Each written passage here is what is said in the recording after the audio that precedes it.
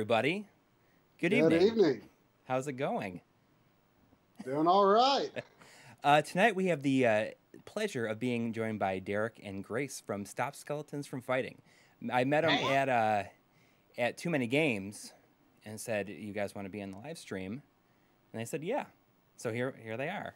that that happened pretty fast. yeah. yeah, it really Yeah. did. Usually, you know, we make these plans and then it's uh, you know, it's like months go by. I was I was on it. I was like, nope, this needs to happen. I, I was really excited about it. So Yeah, Grace Grace handles all that stuff much better than I. The reason why it happened quickly is because Grace was on it and not Derek. I it's you know it's I know that feeling. uh, but you know, thanks for for uh, for joining us. I mean, it's it's really really cool to have you, especially you know, Derek. You've been doing this for the YouTube game for a very a very long time. yeah, uh, well, thanks for having us. First off, I appreciate that. Mhm. Um, but also, yeah, yeah, it- it's uh next month will be ten years I've been doing this. Holy cow! to I know, right? yeah. And you were Uh, you were used to be a member of RetroWare, is that correct? Yeah, yeah. Um, that was uh, really almost like from the start. I kind of like came out with a couple videos, met some people, and then I think I, I started right after RetroWare started. They were looking for uh, uh for talent, and somehow um, I conned my way into that website. um, like we we kind of got into this very late, I guess, and we weren't familiar with a lot of shows. I think the first uh, episode of yours that I saw was the uh, one you did on Point Blank, on the Point Blank Oh, series. huh. Uh, yeah, it's, and then I think that was right around the time that we we streamed that, which was, wow, this must have been two years ago now, almost two years, a year and a half maybe. that, that video I think was 2012. it's that, that- that sounds that sounds so long ago in YouTube years. it really Yeah. it really is. I, I- I did that video because uh, I, I one time I searched around and nobody had done a review of Point Blank, and I was like, oh wow, there's a whole lot of light gun games no one's done reviews for, and I was like, Mhm. awesome, strike Yeah. while I hit Well- this fertile soil, and actually those videos didn't do so well because I don't think there's a whole lot of interest in uh, light gun games compared to some of the other topics that I touched on. So uh, it's that's actually kind of nice to hear you say that that was One of yeah, I mean, we would love to do more light gun stuff ourselves just because it's fun. I mean, don't really care if people are that into it or not. But who knows? I mean, th- this might be uh, this might be a good audience for talking to the, about that kind of stuff too, since uh, so many people around here like CRTs anyway. Yeah, exactly. I mean, it's the only way to play them. So, uh, you know, a lot of people. I mean, we focus a a lot on that kind of stuff, so people get excited about it. No, that that's like what your channel's great. It's more of like the tech side of it, and Right. uh, more about like the you know the hardware, not so much the software. Mm-hmm. Which, um, you know, that that's one of the great things about you know this YouTube game thing, is that there's so many avenues and angles that you can and you know talk about your passion with video games and find an audience. Everyone's got their own niche that they kind of uh, jump into. Yeah. Hell And recently, you guys have kind of got into uh, a whole thing with your your ukulele video. Is is I w- would is infamous like a, a something you would attach to it at this point because Well, I mean it, it was it was, it was a little controversial I guess. I was just being honest. Yeah. It was uh, honestly, it, it was an enormous surprise. Grace can attest to this. Um, like before, when I was making that video, I wanted to have it out like many weeks earlier, and wasn't able to get it done. And actually, uh, in making that, I was like, man, this this game came out like two months ago now. No one's even gonna care about it. I'm working on this video. No one's gonna watch it. And I, I was actually, I got real sad about it. and you know, you know, like you guys, I'm sure have this same feeling too when you're like working on a video and you're just like, no one cares, and also Yeah. everyone else is way more talented than I am. yeah. you know, you're just It's part- it's part of that creative video, process. So you have that breakdown. um, and uh, but yeah, yeah. it ended up doing really well for us. Um, it's also kind of weird because it's the we've yeah I don't know it's Well, we're it's- rarely negative on games because our, our channel's kind of about like celebrating the weird Yeah, like, that's- bullshit Mhm. that happens Mhm. and so like this was one time where Derek and I were just really angry at this Yeah. this one particular game just so many things we, we only pick we- topics when we feel like we have something. We we feel like there's something there.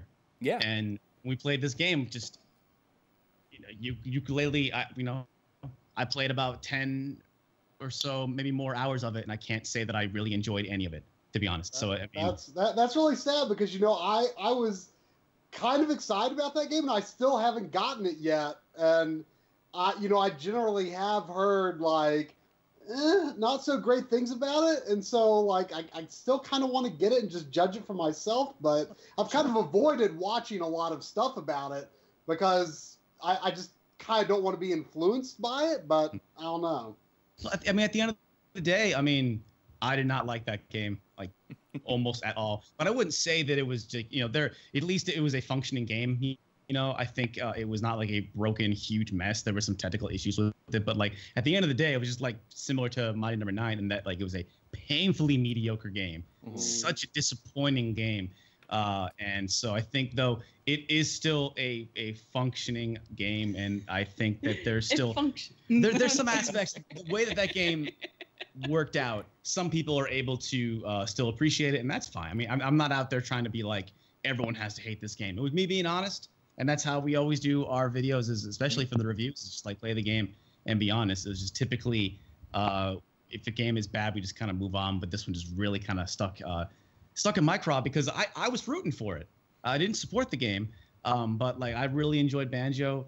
I went back and played Donkey Kong 64 and was actually kind of shocked at how much I didn't hate it. it. That game has huge problems, but I did actually end up playing for about as long as I played Yooka-Laylee, and I, wow. for some reason, I don't know, I kind of enjoyed Donkey Kong 64 a little more. Um, but uh, uh, oh gosh, it's it's, it's the, the, Kickstarter thing is just such a strange topic. It's such a weird. Um, you can almost say like can it's, of worms. It's a, it's, it's definitely a chapter in video game the last the last decade for sure. I think when it comes to a close, they'll be like, oh, remember the the Kickstarter of craze of the right. you know teens, whatever you want to call this decade, and it's it's yeah. been a very fascinating turn of events. The naughty oddies, I think is what they'll call it. and now we just got to so. put all of our faith into uh, Igarashi and hope that hopefully that Bloodstain will turn out as good as everyone wants it to be because that's really like the last big well, one from like a formerly popular. Their hopes on. Which I know oh, people Shenmue really 3, like right. Shenmue 3. Yeah, I, I, think what I think what they're going to do with Shenmue 3 is they're going to make another Shenmue game, mm-hmm. and people are going to forget that like those Shenmue games are kind of rough. They were at a time and a place where they they they definitely they definitely worked, but like I I really am I'm super on edge about how Shenmue 3 is going to turn out and how it's going to be received. But I think Iga one thing I was actually a little disappointed about with Bloodstained was that like, oh, he's just making another Symphony of the Night. He's done that a million times, but right. he's done that a million times. He is staying well within his comfort zone. Yeah. So he's not trying to reinvent nothing. He's really just trying to do it again. So uh, this actually seems like maybe a promising game, but also just you know I can't get my hopes up for it. I hope you know of course all video games the 2.5D aspect might make it a little bit fresh within his realm. Well, I guess to be fair, like Symphony of the Night was the only game he made like on a console, and then he did three GBA, yeah. three DS, and then like one 3DS game, or maybe not even that, but like. Did it? Well, Derek, didn't he work on um, Castlevania Judgment, which was a console? was a console well, he worked on it, but you know what? I mean, I didn't like. I didn't. I mean, the the PS2 games, of course, are you know pretty controversial too, I guess. I liked Lament of Innocence when it came out, but I'm very afraid to revisit it because it was a very simple game, but I yeah. liked it. But then, like Curse of Darkness, I could never get into. Yeah, I, I I've wanted to go back to those games just because I think they'd be similar, maybe maybe in a similar idea to uh, uh, Yooka-Laylee. They might be interesting failures. They might be like, yeah. well, they really tried something here, and kind of how they didn't do it is is kind of interesting and worth talking about. But yeah, I haven't I haven't gone back to those. I think I bought Lament of Innocence day one and never beat it because I just I couldn't bring my I just did not. It was really a bummer, and I think I got Curse of Darkness and played it for about ten seconds and went, nope, they didn't change anything yeah, about yeah. Lament of Innocence I didn't like. So. Well, I mean, I mean, it's it, it plays pretty differently. I mean, Lament of Innocence is at least I I, I feel inoffensive, um, but uh, you know, maybe not spectacular, but inoffensive. Curse of Darkness, whew, I just did not think it was fun at all. I, I, I like started that game from the beginning twice, and I just couldn't get past like an hour or two. It's just not enjoyable. But I remember when Portrait of Ruin came out on DS, I just remember thinking, man, they could just do this exact same thing once a year, every year, forever, and I would never get tired of it. And And then then Yeah. Order of Ecclesia came out, and I'm like, you know, they, they couldn't do am I this. every- tired of this? yeah, for me it was Portrait of Ruin because I was there for Symphony and I I, I really like Circle of the Moon. So actually I believe so. And Iga didn't make Circle of the Moon, so I don't know if anybody in the comments is saying. "Ruh, buh, buh." So I guess actually, whatever the second GBA game was, I'm forgetting Uh, it, Harmony but- and Dissonance, right? Was I think that's the second. Yeah, I one. believe No, that Okay, was that's so- that's second GBA, right? Yeah, Yeah. but re- I, I mean, but really, I was there for all of those GBA games and Symphony, and then I think after Harmony of Dissonance on DS, or no, Dawn of Sorrow. That's what it was. Dawn of Sorrow is DS. Uh, that was when I was like, I think I'm good. I think I don't need any more Metroidvania. And I skipped Portrait, and I went to Order of Ecclesia, and I was like, Nah, I'm still, I'm still good. Well, now, now we have Everyone really liked. Ecclesia. so. oh yeah, people. I see people in the chat are talking about the uh, Netflix Castlevania show, which I don't know Mm. if we want to dive into that, but just I haven't seen it yet. I meant to watch it last night, but I would say, yeah, you know, the bar is low and it clears it, way clears it. It's got some problems for sure, but like I gotta say, those four episodes is short, um, and it's really just like a pilot. yeah, It really feels like a 60-minute pilot episode stretched into a 100-minute four act thing. Um, It is a bit long in the tooth. Up, tooth. Um, but no, I'm I'm totally if, if if nothing else, like yeah, bring me season two Castlevania Netflix. Um, I'm talking so much, Grace. I'm so sorry. If you have anything, to, Um, I'm just being a. a Oh no, no, it, it's okay. If if you enjoy um guys getting kicked in the nuts, you like Castlevania. the- there's a lot of that going on. There's at least like three distinct times that it happened. That, that's pretty uh, in, it's all a blur at this point. in four it- it's kind of 25 minute episodes. That's pretty serious. But, it, but it is like M for mature. Yep. Like absolutely, like this is not. uh Yeah. it- It's really funny because um, I, I feel like my, my main experience with Castlevania is Symphony of the Night, Mm. and so like the, this is just not that. No, Like- it- like, it's it's just- Dracula's curse. It's it's Rondo of Blood and Dracula's And- curse. Drac- Dracula's got a lot of curses and he's got a lot of cusses hmm in, in that. You know Yeah. what I mean? I'm excited to watch it- it. I mean, it's Yeah, no, it, it's wasn't uh, like Paul Anderson was going to do a movie version of it for at a point. The guy who did Resident Evil, Oh, oh. oh my goodness. and I'm glad that That- because then he Fair. went back to Resident Evil and ended up not doing it because he didn't do like Resident Evil two and three. I think. something like that. Yeah, I I can't say I care. I cared. thought he produced them all, but I, I don't Yeah. really know. I, I, I still I still intend to one day watch the last two, I think two Resident Evil movies that I haven't gotten to yet. I, I've lost track of how many there even are. I mean, to be honest, I like I kind of enjoy them, like just as just popcorn movies, I guess. Like as a as a alternate Resident Evil canon that has nothing in common with the games. I think they're they're, they're decent enough entertainment. They're, they're fun to watch with your dad. Dad flicks, like that, that's how I've experienced. It. Yeah. My dad's into them. Like we just hang out and do that. Yeah. You know, watch Water World. Watch. the Postman is also the film your dad likes. Uh, no, I don't. I Oh, couldn't okay. even tell you. He loves Water World. Okay, that's that's that's enough. That's, yeah, he like that's watches enough. it once a year. It's enough Kevin Costner for anyone. Yeah. But anyway, anyway. We can definitely come back to. it. I just want to say, like, I'm going to be playing uh, Herzog Zwei tonight, which is arguably the first real-time strategy game ever. Now, does it come? Does that this did this come before Dune two? Yeah, yeah. I mean, this is Genesis 1989. I'm pretty sure that Dune, because Dune 2 was, I it got a, con- a console port on the Sega CD, I think, but I'm pretty sure like this is kind of credited as creating the genre. Yeah. Really? See, I, I am not very knowledgeable about RTSs, so I mean that's that's impressive that a console game would be considered a contender for first in genre Yeah, hmm when We- you know it's it's definitely thought of as a PC thing. it's been a very Yeah. very long time since I played this. I play my friend uh, had this like when it came out, and we would play all the time. But he was very like strategy minded about everything. You know, he's a really big like risk player and stuff. So I always lost. But I mean, it's I haven't played this game heavily since then. Just as an FYI. Yeah, think- I mean, think I played it, but not long enough to figure out how the hell it works. Yeah, it's. I mean, it's gonna take me a little bit of time to uh, get back into it. I think. yeah, I mean, you know, I, I've seen video of the game before, but I never really quite knew what genre it was. Um, It's interesting. I mean, it's by uh, Technosoft, who would make the uh, uh, what you call it, the uh, Thunder Force games. Ooh. So you can order these units, and once they're ready, you pick them up. You can inhabit bases. Everything's happening at the same time. This looks a lot Um, better than Dune 2.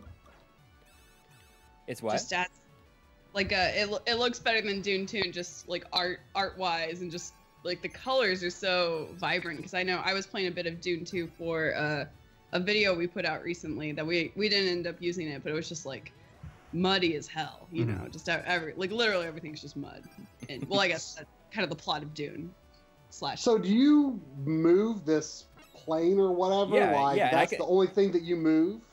Yeah, and you pick up the yeah you, the different units. I think it's like attack the base, uh, like defend, you know, patrol. Um, So you're commanding things to do different things. Yes, I don't remember what all of them are though. It's it's it's probably gonna be kind of like I'm not gonna do it too hot. This kind of reminds me of like Future Cop LAPD for the PlayStation One. Had it wasn't it sort of like an action real-time strategy situation where like you didn't have a cursor, you actually had a unit that you moved around, and and like it's basically this is a real-time strategy game except that you don't have a cursor, you have a you have a, a character, a player that you're controlling. Like, like Pikmin, kind of. Oh yeah. I mean, about Pikmin.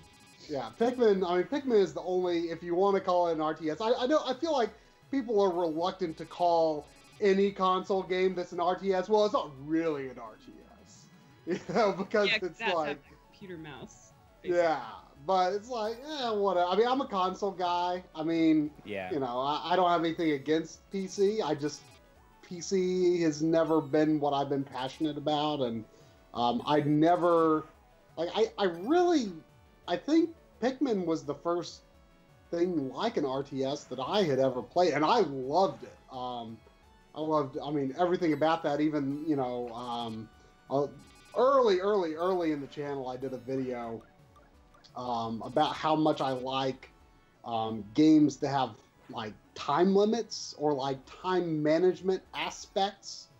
Um, and because I really kind of like the, the pressure it puts on you. And I know a lot of people are like, oh, I've only got 30 days to beat Pikmin. I, I hate that. You know, it's so stressful, whatever. But like, it just like really made me like get more into the game because I'm like, oh crap, I like, okay. And I start playing ahead like, well, I'm going to do this the next day, and then that'll let me do this the next day, and you know, playing ahead like that. And you know, I, I've never played the game and like got anywhere close to, you know, running out of time. So I mean, I think it's completely fair. And in fact, I thought Pikmin 2 removing the time limit um, really took a lot away from the game, and it just kind of, eh, you know, I mean, the mechanics are fine, but it doesn't have that little extra element that drew me in. I absolutely agree with you because I, I think that fundamentally Pikmin is so beautiful because it's about life and death and like survival. Like at its core, like you know, it's it's about the circle of life. And uh, when they in the second game when they took that away and made it about like oh let's go get some treasure, it was just not. No, we not gotta get fun. ourselves out of debt. Oops. Yeah, yeah, yeah. yeah. Wrong horse. We're gonna go bankrupt. yeah. No, I- I've been playing a lot of Pikmin 3. I actually was playing Pikmin 3 right before we got on. Grace is on that Pikmin 3. I'm all about Oh yeah, you just did a video about it. Yeah, we I did, and um, it uh, I don't know, like it it it's better because it does kind of emphasize this like whole okay, we're here to save the lives of our planet, and then we have to like kind of manage resources, like gather fruit so that we don't die. yeah. But yeah, I really wish it had that time limit because like again, like I, I've been playing it kind of off and on, and I'm on like day 32. Like I haven't even found Olimar yet. Hmm. Like I- I'm just like chilling out. But it kind of splits the difference a bit with the juice mechanic. Like you have to get, right.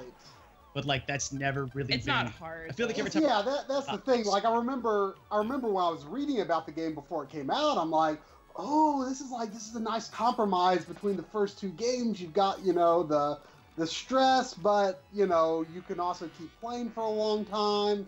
But at the end of the day, yeah, like you say, it's not hard. There's like never, there's like that. Well, uh, maybe I. I, you, you've probably already passed the point of the game, but I, I probably won't spoil anything. There is like a part of the game where it's like all of a sudden like minimally stressful again, and then it's like, oh, it's okay. like shortly I like after that, it's like not stressful anymore. You know what's Okay. kind of interesting about Pikmin and Herzog Zwei here? I'm, I'm watching Coury play. Like, Olimar can get down if he wants to. He can bop stuff with his head. Hmm. And I noticed that, like, you know, you just turned into a, a, a normal mech and started shooting at dudes. And it's like, you can command your, your units to do stuff, but if you need to, you know, you can, You can do it yourself. yeah, you do it yourself. And that, that's kind of like an interesting, like, what uh, that, that seems like that should be some kind of like an offshoot subgenre of real time strategy, whereas like a StarCraft, you know, you are just the pointer and you, you have to let your units do everything for you. But what about these these real time strategy games where you can jump in there and you know Get play- in the shit. Yeah, because Battalion Wars as well. I think people commented on our video about that. I'm not as not as familiar with that game, but like I, I think did not. I did not enjoy Battalion. Oh, Wars. okay. there's also the Wii one too. I don't know if they've made any improvements I, on it. yeah, I never, I never played it just because I was so offended by the first one. even if they, even if they, I mean, you know, I, I don't know if they were trying to make it part of the Advance Wars series, um, but I mean, I think it was probably conceived as kind of a different thing because it was made by like a, a Western developer. Uh, I forget who made it. Um, but yeah, I just I could not enjoy that series. It was just like I couldn't I just I couldn't manage uh, the like it just felt like once I got I, I forget how far I played into it, but once I got certain ways into it, it was like they were just expecting too much from me at one time. Like there was like three or four or five things I needed to do, and I couldn't figure out like how on earth am I supposed to like get all these things through this point and not die, and I just I couldn't. I'm much more of a turn-based strategy fan. I mean, I'm not like a, a hardcore turn-based strategy fan, but I mean, I you know I really love my Advance Wars and Fire Emblem, and uh, I never could get into the original Final Fantasy Tactics, but I like Advance and A2. Um, that's kind of what I like. What about the Disgaea games and like I I am terrified of even thinking about buying one of those because the whole fact that you can like level up every stat to like 9999 or whatever the crap it is like i'm just like no i do not want to get involved with a game You're like like, that I'm not strong. I'm like not Yeah. strong enough to resist this. well, I don't, I don't know. I think that's, I mean, I think that might be the case for a lot of people. They're like, oh no, I have to max every stat and I won't be able to help myself. But I'm more like, this game is going to be expecting too much of me. Like, I'm thinking like, they're expecting me to get to level 9 million or else I can't beat the game and I don't want to get to level 9 million. yeah. I mean, I don't know. It, they might be a lot easier than I'm imagining, but I'm just I'm imagining they've got like this crazy grind curve or something. I mean, that again, that's completely without experience, and I'm probably judging unfairly. But I think you Uh, can play those games forever. That's my understanding. I had, I had a friend who did play the first Disgaea for or Disgaea. I'm not sure how the correct pronunciation. yeah, He played it for several hundred hours, and I would go to his house, and he would go to some cave to grind, and then he would set up all of his dudes to do one round of attack. He would set it all up, and he would go to the kitchen to make dinner because that's how long it took for him to go through one turn. And I was like, dude, can you are you beat this game? It's like, oh yeah, I could have beaten this game like probably 200 hours ago, but oh my god. yeah. I mean, that, that's like the kind of series that I'm never quite sure if the people who play them like them or not. Is that what is it? I think it's called Phantom Brave or something like that. What it's there's a game that's like it's not called Disgaea, but I think it's part of the same series, or at least Yeah, basically the same gameplay. I think it's on PS2 and Wii. And a friend of mine played the Wii version, and like I think he like 100% completed the game, or you know, at least put an obscene amount of time into it. And like I, I like I always like I'm like you, you liked that game, right? He's like, no, I hated it. I'm like, I, I thought I remember you played a lot of that game. I thought you liked it. Isn't that like what addiction is? Like you don't like the drugs, but you need them. That's like literally what addiction means. Like there's other games, man. You, it's like that's what, that's what I told my friend. Like you know they've they, they've kept making other games. We live in a great time. They, They- keep- they, They, keep even making made video more games. of this game. And every single time they make a new Disgaea, I'm like, do Disgaea players need more Disgaea to play? Aren't they still trying to get a billion levels in the first one and the second one? Like, I think the fifth one or the sixth one is coming out on Wii. I'm sorry, no, sorry, the Switch now. Yeah, yeah. Um, and it's like, you know, the Game of the Year edition with all extra stuff. You know, it's like Disgaea 5 plus. In case you- I didn't need a plus in my Disgaea. I don't, I don't know. I'm gonna go get a light. quick here. Oh, sure, yeah. Coury, not to give you any kind of uh, pressure here, but there is apparently a Herzog Zwei expert in the chat. Oh, you know, I thought maybe it would be uh, uh, Mark Bussler from uh, uh, Classic Game Room. This is apparently his favorite game of all time. oh, really? Yeah. Red, Red Gems is saying that they were wishing they were in the room with you so they could like Okay. kind of Well, tell them it's. some backseat advice. I haven't. I haven't really played a hardcore in probably 25 years.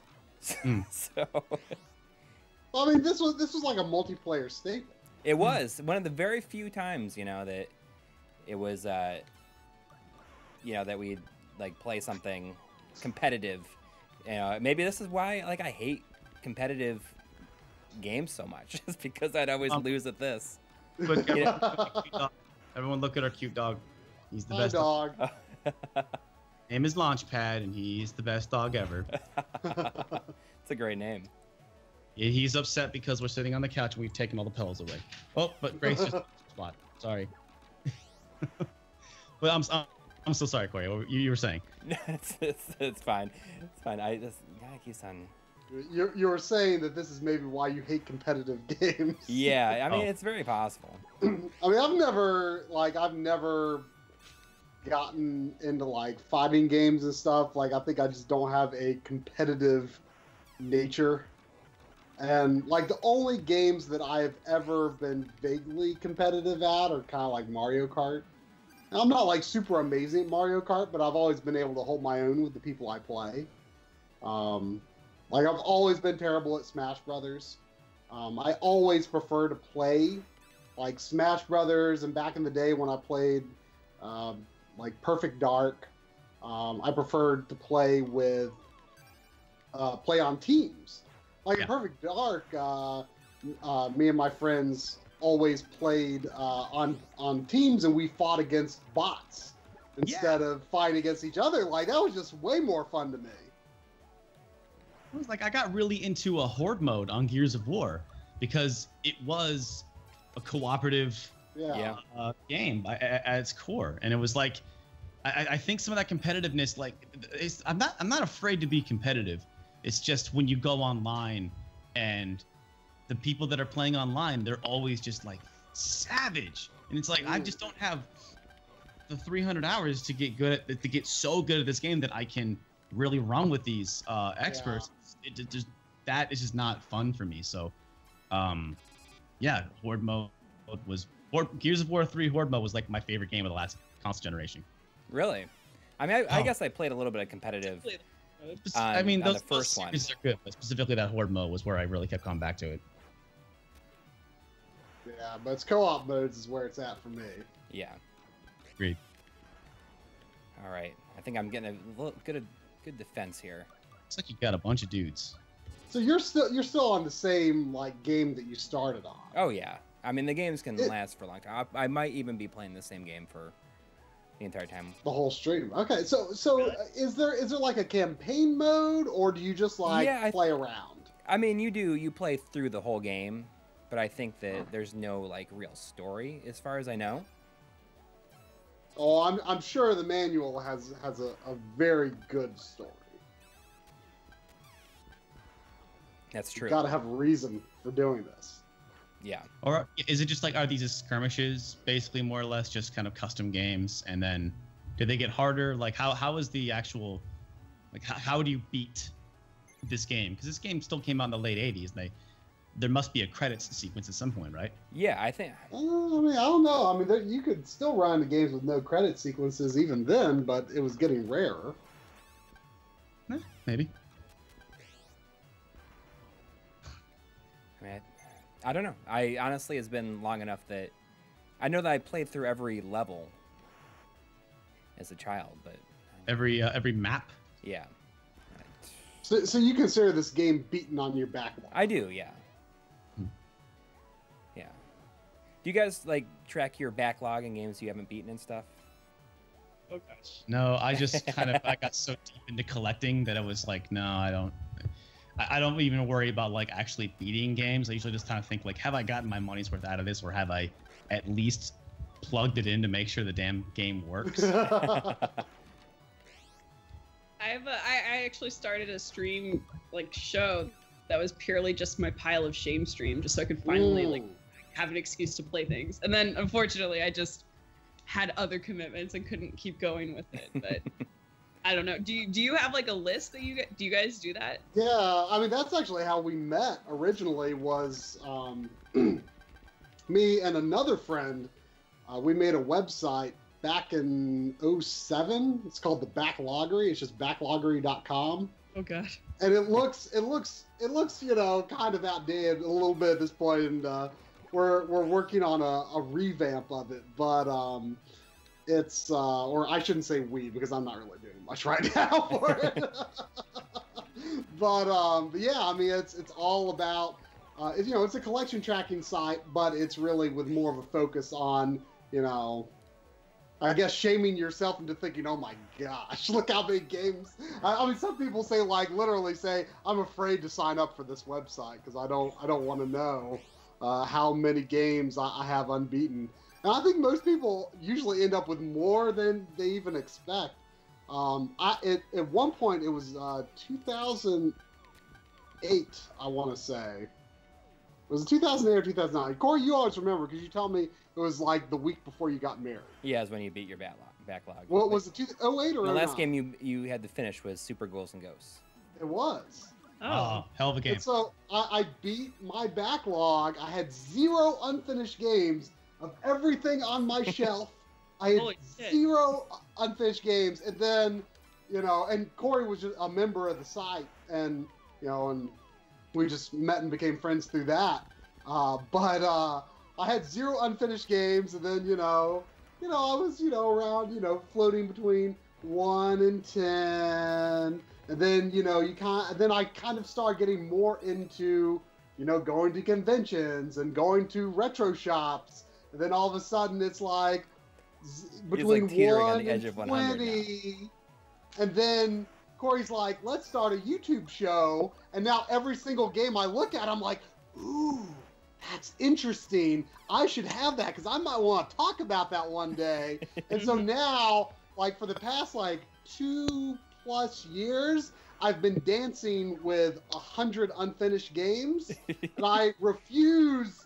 Like I've come up with all these crazy schemes to like keep myself under to, to no more than 99 unfinished games because I feel like if I cross 100, like then what what's holding me back? You know, it's all it's all over. So you know, I, I always like whenever like I finish an episode, uh, you know, I'm always like just like so focused on that. And then I just like go on a game binge and just try to beat a few things because inevitably I'm gonna end up buying something else soon and you know, pro- probably the most extreme thing I did recently was after finishing. I can't remember which episode it was. Uh, whatever I released in April. Um, I then just like, like I disappeared from the internet because Persona Five just came out, and I didn't want. I didn't want eh, I didn't want to hear anything. I didn't want to hear what anyone thought. I didn't want to hear if anyone thought it was good, if it was bad. I didn't want to hear it. I just didn't want to hear anything. I wanted to pretend it didn't didn't exist. I wanted to pretend the internet didn't exist. And so I just unplugged, worked on the episode, did basically nothing else. That was done, and then I just like binged on Persona 5 and beat it in like two and a half weeks. Isn't it funny how it's like you'll have this huge backlog of games, and you're like, I don't have time, and then it's like Persona 5 comes out, and you're like, all right, well, I have 500 hours. Of Yeah. yeah, Yeah, exactly. exactly. Yeah. Exactly. I mean, we, we, we kind of did the same thing with, with Breath of the Wild, is we just like it was actually kind of funny because we we ended up. Uh, um, I, I think Corey told you guys about the Night Trap documentary we're we're ready, getting Yeah, ready to release. that.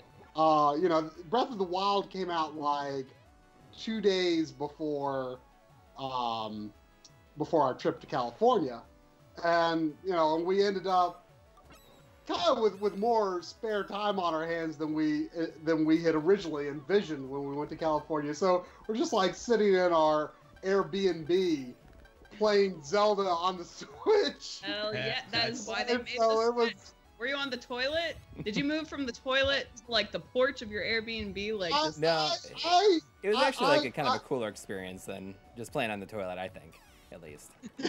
I, I mean, I, I, I do not. I, I I have not gone so far as to play video games on the toilet. I, I, I, I, I I'm afraid to cross that line. I'm, I'm just trying to say, man. I'm not tr- trying to, to. I just want to I just get busy living. That's all I'm trying to say, man. yeah, I mean, we've talked about on our stream before. People are probably sick of us talking about, but it was like the coolest. It ended up being like the coolest way to play Breath of the Wild is like two people on handheld switches in the same room being like, "Oh, did you find like I found like this this fairy over here? I found this like really weird looking rock, and it's like like." Ooh, you should check this out. Oh, where is that? You know, it was like it didn't feel like spoilers because the game wasn't linear. Like we were just like sharing information, like you know you would have playing the original game back in in the 80s. You know, so it was like a very, you know, it, it ended up being like the best situation to play that game in. Even though I was initially kind of bummed out, like, "Ugh, I'm going, I'm going to have to travel like two days after the Switch comes out. Boo. And you know, and I'm and not even thinking about like how, like, because I've always preferred I don't like handheld games because there are good games on handheld, but I always prefer the TV experience. Oh, And it me, was I'm really- absolutely the same. It was really a totally different.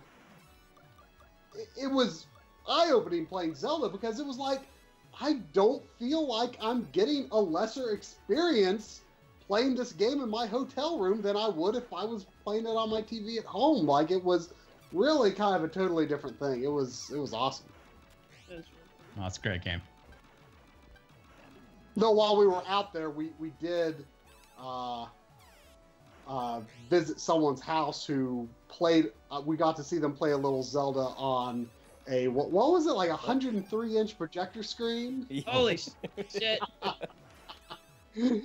it, it it looked good. Yeah, and then and then you played uh, Rescue Rangers on it. I did. I, I beat Rescue Rangers on a 103 inch projector screen. Disney Afternoon Collection or Yeah, it was, it was, it was before it was out. Yeah, it was. It was. It was on AVS, I think. oh, That's, okay. that's the first game I ever beat, and some people were just like, "You should play Rescue Rangers on this giant screen." I'm like, "Okay, sure." No, I haven't gotten that. Like, I'm, I, I still like keep holding out hope that they're going to make a, a physical release of that. Like, I, I've Oh. got, uh, I've got the Famicom versions of, um, uh, Rescue Rangers 2 and DuckTales 2 because they're, they're, they're kind of expensive now, but DuckTales time- one is my like Famicom White Whale. I want it so bad. which one? the the first DuckTales game. Oh, i- is the first one like hard to get? It's like I think it costs like eighty bucks Yeah, around. it's just expensive. It's just expensive. Yeah. it's more that I'm willing to spend on it right now, especially since I am saving up for a Switch and all that. And it's just kind of like I would get it mostly as a, a prop for the set. Yeah. You know, I don't even have a Famicom, so it's kind of hard to just. Well, I have, a, I have, a, I have a converter for a Super Nintendo if we really. Oh stop. so if we wanted to play, Oh, just say the word, girl. You know, I'll hook you up. oh shit. I got you. But, uh, but there was a time where Ducktales 2 and uh, Rescue Rangers 2 were like the, the Famicom versions were like 35 bucks. Yeah. Yeah. Uh, and so I got them Are they expensive when they now? were- Uh, yeah, I think so. I mean, they're. I mean, last I looked, I thought they were at least like 80, maybe. yeah. Um, People are still sleeping on Famicom collecting. It the prices haven't gone through the roof yet, but it's some, still some have gone up though. I mean, there's there's a few that I'm disappointed I don't have. There there was like this one game that um uh there there was this one game that I, I saw this video of like probably back in like 07 or 08 or something. I saw this this video um and it was just like this bizarre, super bizarre, goofy looking Famicom game. And it actually looked really fun. It was like this platformer, and you were this like robot, and I think it had like a few different styles of level. I'm like, I, I can't like think of the words to type into Google to figure out what game this was, and I just couldn't figure out. And actually, while we were in California, again, we visited someone else's house, and he had some Famicom games that he was like, "I've got a list of Famicom games that I want you guys to try." And I'm like, "Okay, I like I like Famicom." And w- there was one of them. I'm like, "Oh my gosh, this is this game I've been looking for for it like- years." Cocoron, maybe. Huh? Coco is Cocoron the one where you No, play it as wasn't spot? No, but it was. I, I finally found out the name is Robocco Wars. Oh, Is that that weird. Konami crossover game? Don't. Uh, Yeah, No, no, that's uh, Wai Wai World. Okay. Wow. Okay. Yeah. yeah uh, Robo- I can't think of who made Robocco Wars, but I'm like, yes, I've been looking for this game forever. And then I go on eBay and it's eighty dollars. Shit. uh, here, here I thought it was just like this this obscure Famicom game no one cared about, and but uh, but yeah, but you know, it, it, it seems pretty good. So I, I don't know. I mean, I. I, I- I can talk myself into eighty dollar Famicom games every now and then. Actually, I don't think I've done that for Famicom yet, but I have done a, a couple of Super Famicoms that expensive. Oh yeah. I think for a- for a hot minute, right as Nintendo and Super Nintendo games started increasing in value, uh, you know, around like you know early YouTube days when retro, you know, videos were starting to become really big. Uh, it was like, oh, if you just get the Japanese version, it's way way cheaper. And I think for a hot minute that was a very reliable way to get some super rare games, but I think that is that's that that's going away now too. Yeah. Mhm. Not not completely, but but to a large extent, yeah. I mean, I just picked up um, while I was at Too Many Games. You know, a friend asked me, uh, "Could you pick up the Japanese version of Mario RPG?" And you know, and that's still like ten bucks. Oh shit! What? Nice.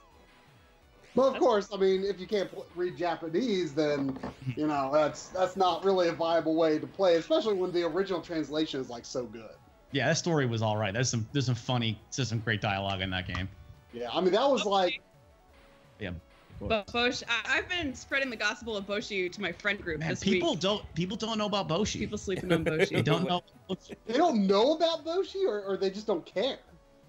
They don't. Oh no. no, no, they they wish they knew. They wish they knew. It- it's, listen, it's, it's there's no don't cares. You just know or you don't know. I mean, hey, I, I, I, I always, I always thought did Boshi it. was good.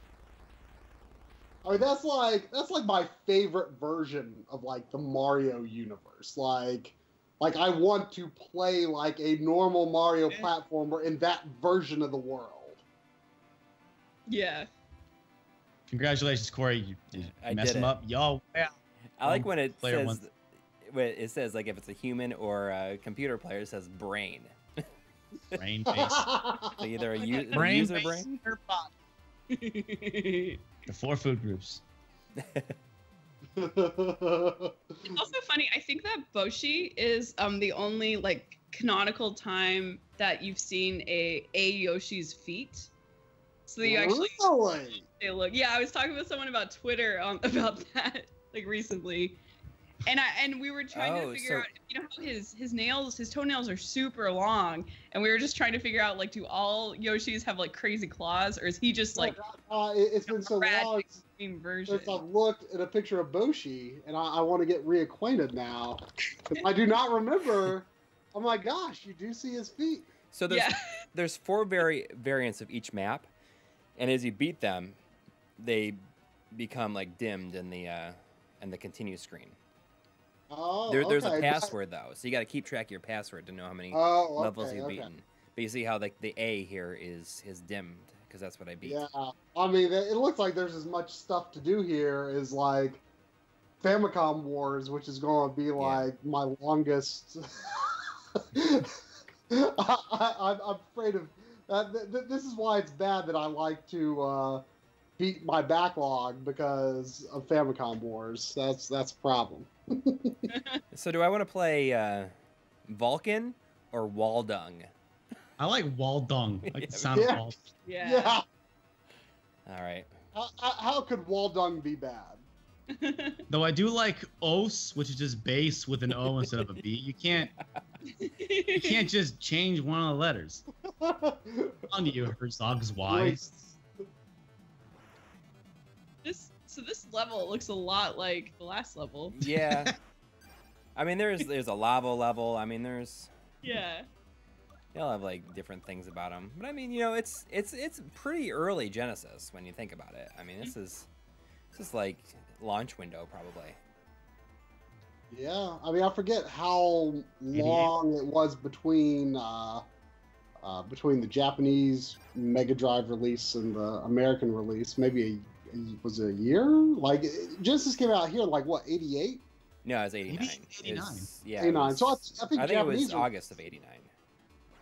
Oh really? So yeah, I think it was Japanese was 88, but gosh, you know I'm really It was August of '89, and then um, Japan October of '88. okay. Got my Okay. got my, my cell Alright. phone. Remember when video game systems came out in August? I know. I love were- you know summer releases. You know, I, I think it was cool that the Switch came out.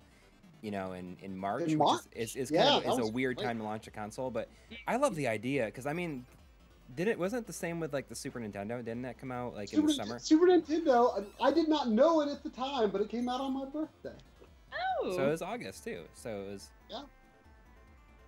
Well, and I- I think part of that is because I I think that fundamentally the audience for video games has changed. mhm. Just like maybe, may possibly like people were targeting the summer in the U.S. because that was you know when kids weren't at school, Mm. maybe they had more time Of course, play. that's like right when you're about to go back to school. yeah, I guess it depends on where you are in the country. yeah. But uh, now, now video games are more for You know, You know, grown-ups.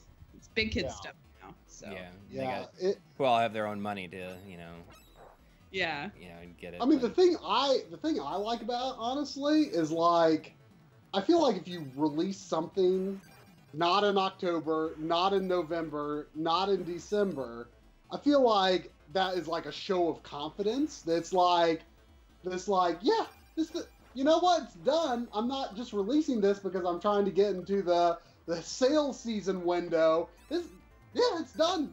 I, I, I don't I don't I don't need to wait another few months to release it. I don't know, but I don't think the Switch was done. yeah. Uh. I mean, there was. I mean, Zelda was Zelda was ready. I mean, that I feel like. I mean, there. Well, I mean, yeah, it got a little more optimized, uh, maybe a month or so down the road. But I mean, I feel like I don't feel like the game. I don't feel like there was anything they left out of it. Like it didn't. It didn't feel unfinished in any capacity. But I mean, yeah, I mean, there's definitely some things that they could have released, and I guess there ended up being some, some a few hardware concerns in terms of scratching and stuff like that. But you know, all things considered, I mean, I don't, you know, get don't get me wrong, I am happy as can be that the Switch is is doing well, but I don't quite understand. Like, I, everyone's talking about like how well the Switch is doing. Yeah, Nintendo's like off on on the right foot this time. And I'm like, I don't know the Wii. I, I like the Wii U too. Like I don't, I don't, I don't quite see what they are doing right, so to speak. I mean, I, I'm perfectly happy with what they're doing. I mean, I'm always going to. I mean, Nintendo systems are just like the given for me. Like I just, I always have to have it. They're always going to have Nintendo games. So yeah, yeah. But I mean, so far, you know, the the biggest games are games that you can play on another system. Uh, so it's kind of crazy to me that people are all like, "Yeah, Nintendo's got all this momentum right now; they're doing great," and the and the Wii U never had that. And maybe it was just purely perception of what the system was. Mhm. And maybe the fact that you can play Wii U games on the Switch is a big selling point because maybe a lot of people didn't have a Wii U. Um, but it's it's just it's it's it is just interesting to me. I've never fully connected the dots on you know why is it that people are you know gravitating so much to the Switch? I mean, I know I will, of course I will, but I don't see necessarily what it is other than maybe the portability factor is really a large appeal, uh, or maybe people were just ready for something new. Um, but I, I haven't quite seen why. What I- well, I did they that- do right other than not call it Wii something else? yeah. Well, I think that Nintendo, by releasing all these mobile games, has been doing like great things for their brand in terms of bringing Mm. in, like reminding people that hey, Mario exists and you had fun playing it. So and like I know that I bought um, the newest Pokemon game based solely on the fact that I really had a ton of fun with Pokemon Go, Mm. and I like it was the first Pokemon game I'd played since like uh, Silver or, or well, Crystal. Yeah, the best. but the best one you can play as a girl in that one so it's the best one but yeah i don't know Yeah, It's- we did like you know Mario Run was like on was like downloaded like a billion times, and though like I think it, they actually I only ended up came out. Yeah most Yeah. of the people that got it only played you know I- the first level. okay then- real quick Oh. i one hundoed it Did you actually? that's embarrassing Did you actually? yeah i did actually Okay, because I know you were really close on those black. Um, no i did the it and black then i immediately deleted it off Yeah. my phone Okay. get this out of my life go, all right.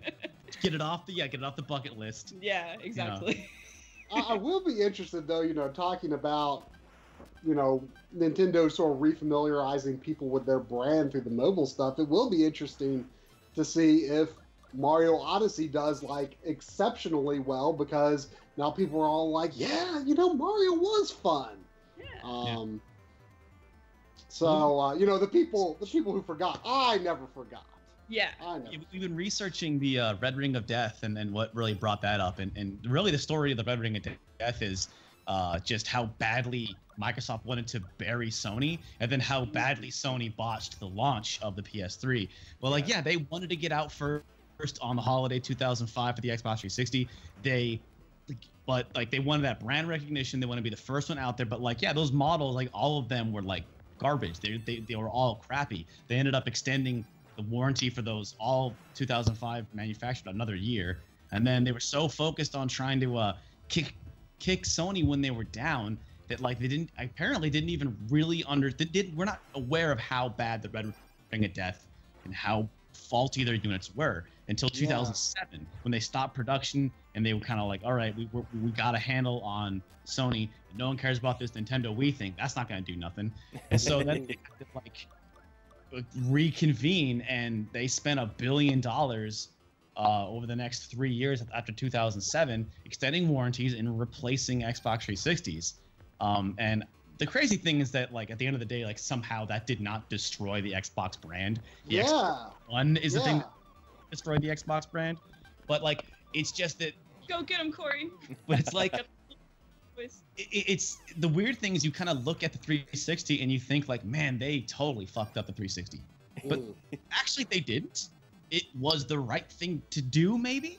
Um, and i think like a lot of the people that were involved in that story uh, had they've moved on from microsoft but they're all like yeah no like we we protected the brand we protected the consumer even though we made a crappy system even though the system itself it was a good system but you know the red ring of death is like the, is probably the most well-known malfunction in you know video game malfunction I in would history. say so. I mean, the, the, the, the yellow light on the PlayStation 3, I mean, certainly happened a lot, but it, it Yes. wasn't iconic. no no, No. Right. i mean I, it doesn't have its own like hashtag yeah. I don't know? think it has its own Wikipedia page. People will you know? never forget about- We'll Yeah, never and it's forget like the red that, ring. and the blinking red, de- the blinking red light of death on the original front-loading NES. th- Those are like the two, um, probably most well known. But like in both of those instances, both of those brands did such a good job of being a good brand and Mhm. getting out there to the public. I mean, it was like. Uh, I think it was uh, Obama in 2009 said we got to get the kids off the Xbox. And w- w- the, the important thing about that is he was using Xbox as a catch-all for It's video. generic, yeah. Yeah, and it was like so like that's the thing is like you know when a politician or somebody on TV just uses you as a catch-all. When that- you become the Yep. Kleenex of whatever. Yeah. yeah. Back when you know when Just every video Nintendo. game system was the was Nintendo. The Nintendo. Yeah, yeah. It was actually don't play video games or play Nintendo, and it was like that was sort of the thing. Was for a while, it was like, oh yeah, you know, eh, you know, her kids are always just over there playing the Xbox. They're always just up there playing Xbox all the time, you know. And it's like, Yeah. actually, it's Nintendo Wii, mom. When Well, when you your when your system is like the name for every video game system that's available at the time. Exactly, Is and the- and that's kind of like the fascinating thing is it was the Xbox One, it was the Kinect, and that always online, and like the Xbox One when it launched wasn't necessarily a bad system, but like the messaging and was just was Yeah. so wrong, and the branding was so wrong. And the fun thing about studying how Microsoft went after the PS3 is then you study that that uh E3 reveal for the Xbox One and the PS4, you notice how savagely Sony went after Microsoft. It's Yeah. just when like the the the, the uh, YouTube video of like how to lend games on PS4, and one guy's like, "Hi," Yeah. Thanks. and it's just like this 30 second video, but you know that was just savage. Yeah. Like that video Yeah. got like that when video went viral, and I was like, yeah. "Done. Sorry, Microsoft, you Yeah, lost." that was they screwed that up so bad. And you know, something that that I keep thinking after this year's E3 is, you know, I think a lot of people were disappointed that the Scorpio became Xbox One X. And you know, now people are like, well that's going to be did, did you think about the fact that S and X sound very similar, but uh I I can't help but think Microsoft, even though I understand why they have to go that route, because you know people are kind of speculating. Well, Microsoft is probably going to go for this iterative console approach now, and what I think is going to happen, I think that the next Xbox after Xbox One X, I think will be iterative in the sense that it will probably still play all of the Xbox One games, but they're going to break out of that family and they're going to be exclusive games for that system. But in terms of hardware construction, I think it's going to be an extension of that. But I think that they must be so frustrated that Yeah. they are stuck with that Xbox One thing. Because think about it the Xbox One name is all about that original vision of the oh, it's the one box that you need under your TV. It's going to do everything and all your TV for you. And no one gave a crap about that. And so Xbox One means nothing in terms of what uh, Microsoft wants us to perceive the system as being today. It means nothing. But they're stuck with that. They're stuck having to use that Xbox One language and the visual language of the systems and and making them sort of the same thing. But you know, I, I mean, I ho- hopefully, uh, you know, they they recover to some extent, uh, and you know, I, I think they will. I think the fact that that Xbox One X will put them on the techno on the lead in terms of technology again. I think that will at least earn back, you know, something for them. But you know, they they screwed up from the beginning, and now they're stuck with this stupid name. So Ironically, the kind of the failure of the Xbox uh, One is doing a lot of great things for retro gaming fans because um, I think since they don't have have those killer apps to draw people to their system, they're really doubling down on, on their old library. mm, And yeah, for example, in the interesting case of the like Red Ring of Death, you know, these um, Xbox 360s all have basically a like you know the NES. Derek still has his like top loader from Yep, that someone works. got him in like '94 or, My or whatever. parents got me for my 10th birthday. Yeah, yeah, yeah. and then, but um, our like for we had a 360 that just broke recently after like eight years of having it, and so and it was just like so sad because I was getting into playing Prey, and I was just you know we got we bought beautiful Katamari, and we're like yeah let's do this, and I then finally was playing Dead Rising, and I don't know why I was sleeping on that game for so long. it, that might have been what broke. the system, Yeah. ironically. Mhm. but it, it was just it's kind of neat i know that the support isn't for every single game but in a weird way for all these 360s that are going to break you know within the next few years it's it's kind of cool that the xbox one will have some sort of support for Yeah. Yeah, and, and the crazy thing about it too is, you know, emulation, you know, generally, you know, it's like, well, it's still better to play on the original hardware, but there's actually a lot of people saying that the Xbox One is the better way to play a good number of the 360 games that are available for it. It it plays them faster. It plays them That's awesome. better. Uh, so it's it's kind of crazy. And supposedly the Xbox One X is going to continue that, where it's like, well, if there's headroom for these games to perform better, they will. Just inherently, and they've got like you know certain graphical effects like the 16x anisotropic filtering that's going to be on all backwards compatible backwards compatible 360 and original Xbox games. I'm I'm really interested to see how that how that plays out. I don't have an Xbox One. I've kind of been like, well, you know, whenever they do their mid-generation refresh, that's when I'm going to get it. So, I, Yeah. uh, so I, I know it's five hundred dollars, but I, I am, uh, I, I, I've kind of already committed myself to buying it because I've already bought some Xbox, a, a few Xbox One games for cheap. I have nothing to play them on, and it's like, well, you know, I, I'm, I'm definitely buying the better system, even if it's more expensive. Mhm. Yeah. I'm like slowly taking this guy's guy's bases yeah, out. Coury, I want to I want to check in and see what's going on because I it, it's honestly um thank thank you for playing this game. I think uh but a little behind the scenes, um Coury was like, "Hey, what game should we play on the stream?" And I and I was like, "Well, we've been doing a lot of RTS uh, videos lately. If you want to check into that." And it was just um I, I know that these are kind of hard to play on stream because they are just such a like a chill, you know, experience where you just set them up and then knock them down. So, Right. yeah, I mean, the, you, well, go on, go on. I'm sorry. Yeah, no, Coury, give us a little play-by-play. I, no, so what do you good do? about that. I'm just I'm trying to take out all of his bases one by one. I mean, I'm kind of, you know, it's obviously like on the easiest level right now. Uh, so I am. He's flying around, so I'm dropping, uh, like building a whole bunch of the missile launchers that can attack him when they're, uh, when he's flying around in the plane plane form. Oh, but he's attacking my base right now. I don't know. He sent somebody at my base.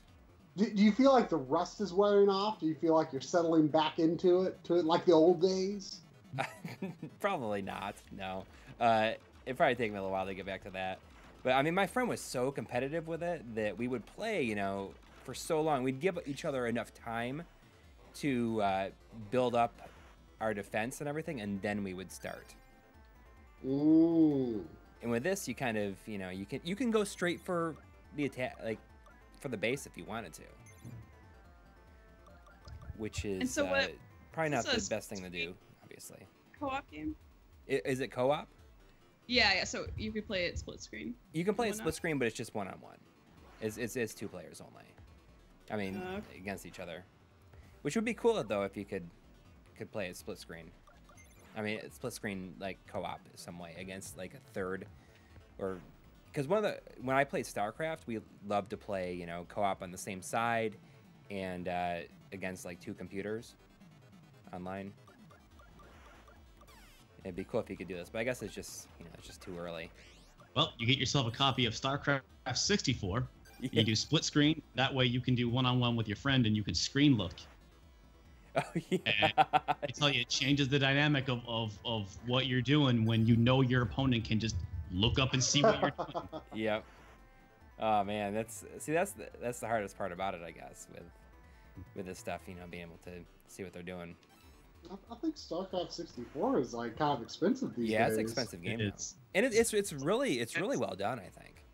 it's, Yeah, I mean, I've heard a lot of people say, like, you know, it, as elitist as people can be about RTS games on PC, like, I, I've heard plenty of people say it's actually a really good version.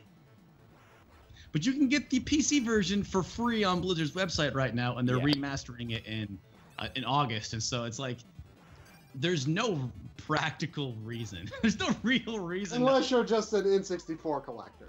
Yeah, and Yeah. and I love it. I think it's it's I, I love games that are just like this shouldn't exist, but I love that it exists. Yeah. So that's one of my favorite, my kind of personal like favorite dumb games.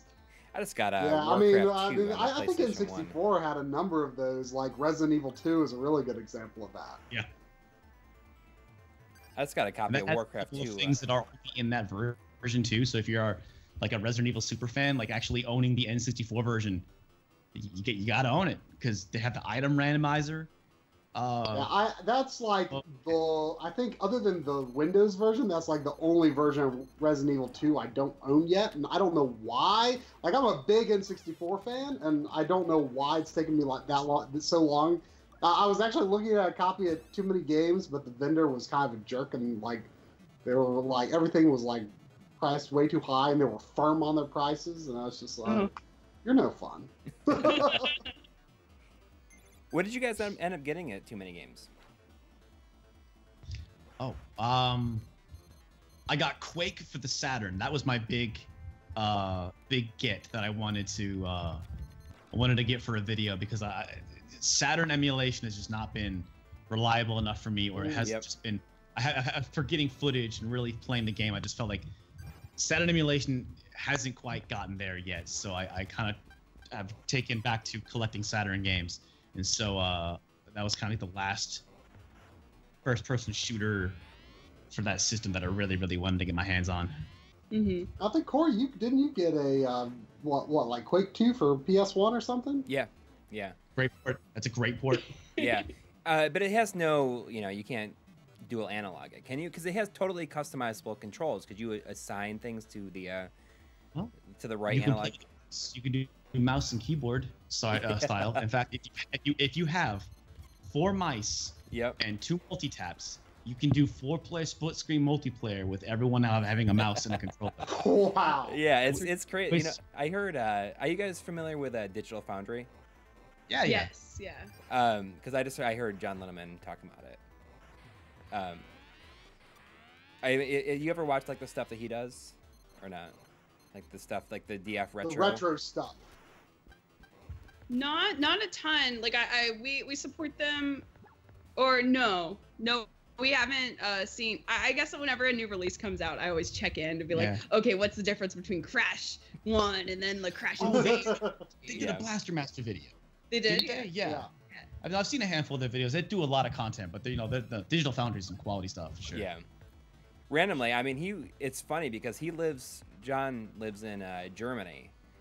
Eh, But last uh, December, you know, we had been talking to him um, about some stuff, and he's like, you know, we wanted to have him on the stream, and he's like, you know, I'm going to be in the U.S. in December, and we said, okay, okay, so you could be on the stream then. And he's like, yeah, I'm going to be in Cincinnati, Ohio, which is where I live.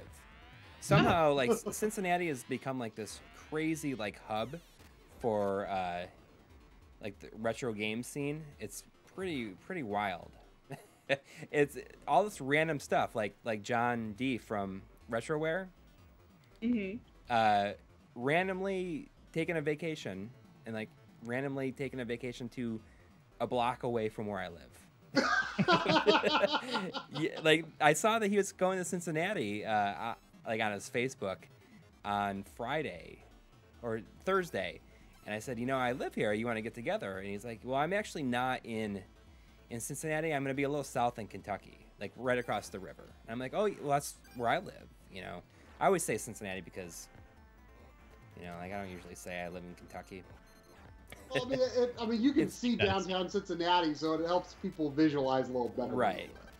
Uh, but he said, you know, like I'm gonna be there. I said, you know, I live there. He's like, I'm gonna be in Kentucky. I'm like, okay, well, where? And he's like, uh, Newport. I'm like, that's where I live. And I gave him my address, and he's like, I am staying a block away from where you live. Randomly, like out of nowhere. So he like came over today and hung out for a little bit. so random, you know. There's there's a pretty big. Uh, I actually saw the picture of that on Twitter, and I was just like, that's weird. like, Yeah. like, Yeah, cool. I it- didn't even know the context of that. you all, you and your wife just kind of like, just like randomly picked that area, like oh, for where you want to move from New York, and it just like ended up being like, in terms of like your retro, like your retro game presence and the the scene there, like it's it just ended up being like the perfect place. It's like it's really ridiculous. Yeah, I mean the guy who's doing Night Trap lives five minutes away from me somehow. Uh, That's how that happened. yeah, I mean it's, it's Wow. it- you know I just like the whole putting together of that is like almost like winning the lottery because of randomly just like lives down the street. Uh, You're going to be getting like an awesome arcade. like, yeah, an ar- ar- arcade slash uh, retro game stores like opening up five Mm. minutes like walking distance from me. Oh, that's great. Yeah, I mean it's and it's somebody who you know is like he has another two other stores. I sold him a I had a Space Harrier arcade cabinet and I sold it to him and he put it in his uh, his bar edition of of that store Oh, and uh, it's it's pretty crazy. It's pretty crazy the way everything's kind of worked out. So, how many uh, conventions a year do you guys tend to go to? Not many, probably uh three, really. Like uh Like, what, what, what were like your favorite ones? The Portland Retro Gaming or PRGE is probably my Yeah, favorite. That's the one we want to go to the probably the most. I think. it's it's it's it's a nice it's a really nice convention that's a bus ride away Yeah. and for Mm. me because uh, i lived in we, we met in alaska and like lived there for many years so i used to just really go to one convention and it was uh I used to go to magfest on the east coast and you know all the way to basically just outside of dc um, from anchorage alaska was a was a hell of a travel and i just got really tired of airline travel and even though we went to philly um, you know just last month I was still kind of like, man, I just don't like being on an airplane for super, super long. so personally, it's, it's I'm biased to Portland, if only because it's like we, we, we can make a day trip out of it, you know? And it's like two hour bus ride. Buses are never quite that full. They had this And- amazing ar- arcade game the like the first time we went where I don't even remember what it's called. Maybe you guys know, but oh God, yeah. it was like a, a weird game where you you get on it and you're basically like riding like pedaling on a bicycle except um, inside of the game you are like flying this weird dirigible helicopter kind of it's weird, like Sounds you know like something do that Game Dave would like. He's like really like- into like bike bike games. i think i, I like have waited in pedal. line I think you, you actually, I think that was when you broke your shoe. Oh The- yeah i broke my dance goes The on, on that The buckle on, your shoe game. broke and we worth had it to. Yeah. i had to go to a convenience store and buy some uh super glue just to like make that shoe work Mhm. function for the rest of the weekend. But oh man, it was so great. yeah. And they, they have a lot of stuff, and then it's fun because they have a really good uh, set of YouTube people who go, so you kind of Yeah. get to see all, all your all your friends and stuff. So Yeah, that's that's one of the things Or- we like about too many games. yeah, Yeah. that was our first time coming, and it was really great just to like see people, and of course we like met you guys, which was Mm-hmm. awesome, and yeah, that's the best part of uh, uh, these conventions. Yeah, like, uh, also like you know mentioned Game Dave a minute ago. Like just ran into him randomly, and I was just like, hey, you know, and I, I gave him thumbs up because he had a joke in his Mega Man Six video that I thought was really funny. And it was just like, and it was just like yeah, just like fucking everyone's just there. And that, that was kind of like the neat thing about doing Magfest. For for me, I did Magfest uh, five years in a row, and the fifth year was like, man, I'm I can't do this anymore. This is I, Yeah, this is it's- a- Yeah, us- that's that's kind of where we're we're, at actually. this year. But like for the ourselves. first Yeah. four years, though, it was a lot of fun, and you know, you get to meet people, you get to party, and but also it, it's kind of fun. I don't know if you've had this moment where like a bunch of bunch of homies are all in a hotel room, and we just start trading horror stories, just like start trading battle stories about doing this YouTube bullshit, you know, Yep.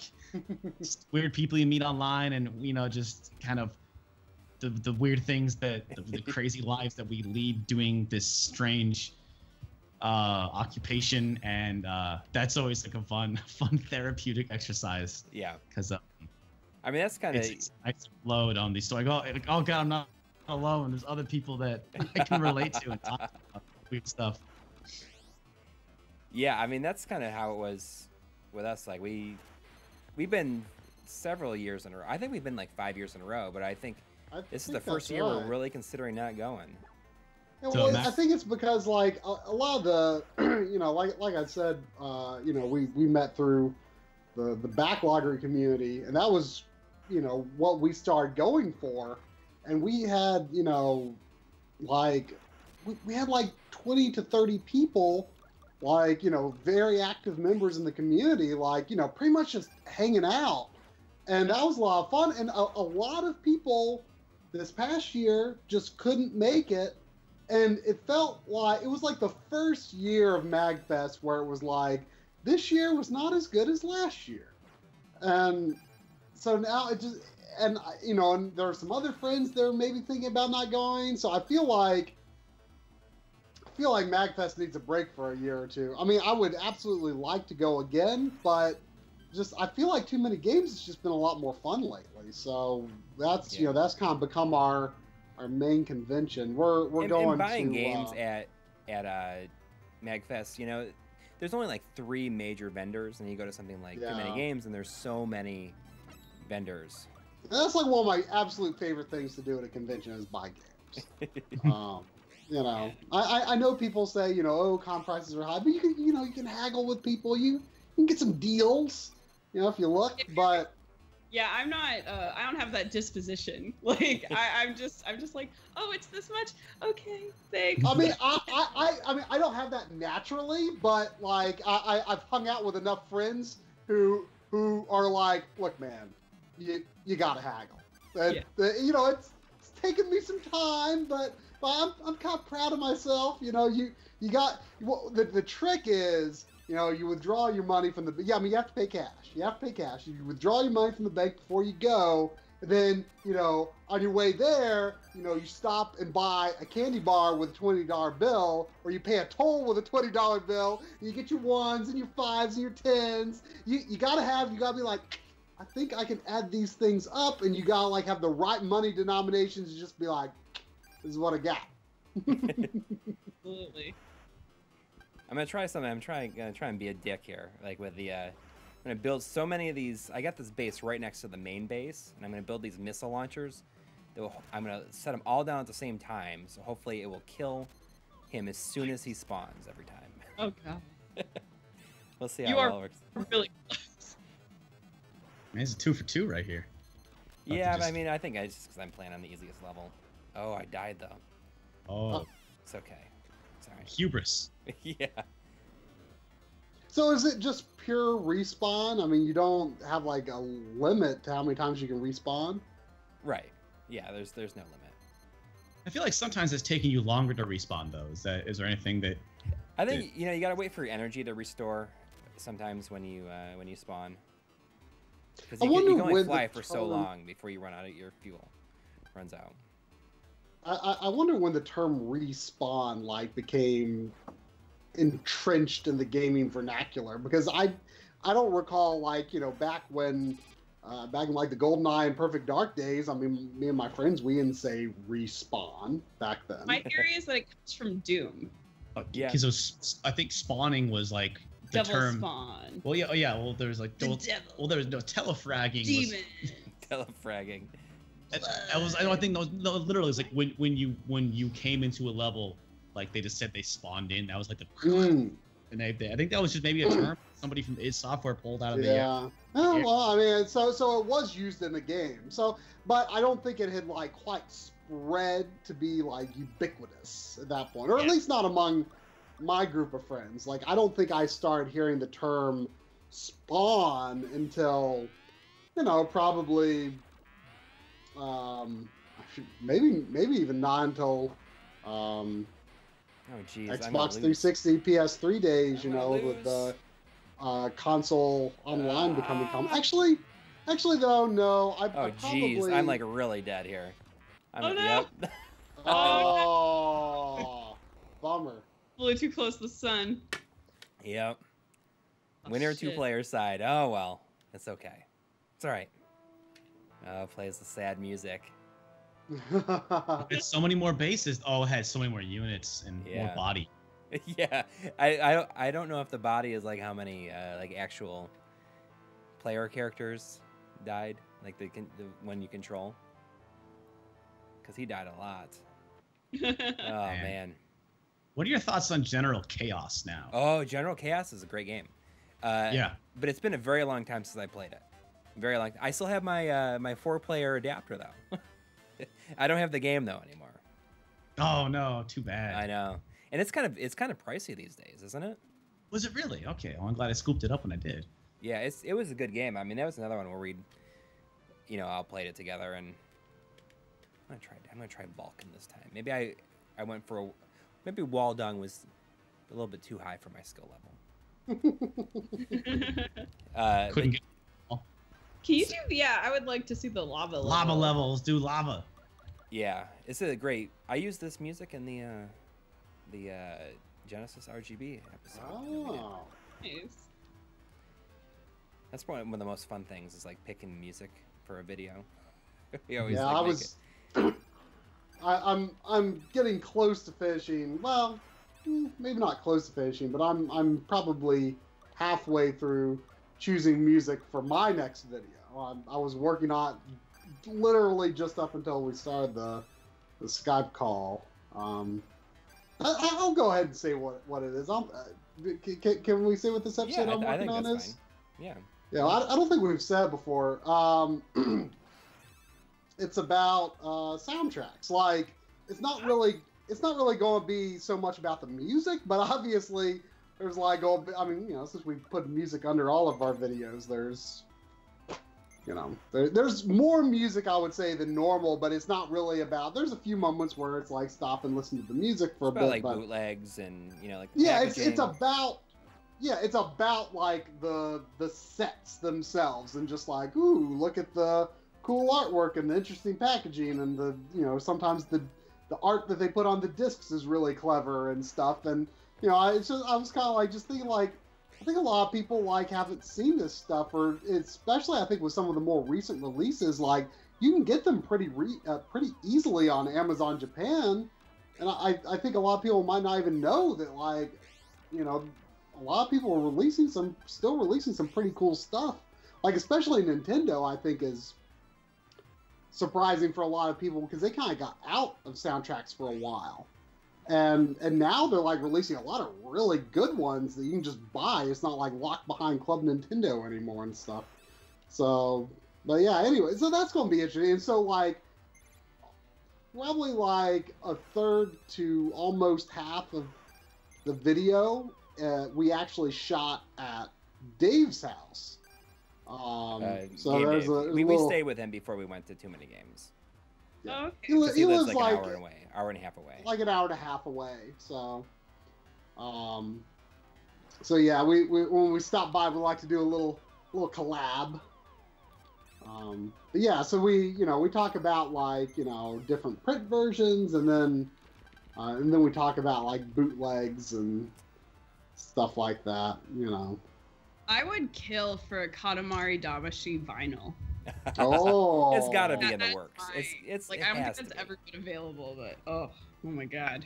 Yeah, I mean, it's, it's got to be in the works. It's like it just seems like such a It's uh, too- Too good of a soundtrack to not be be working on somewhere.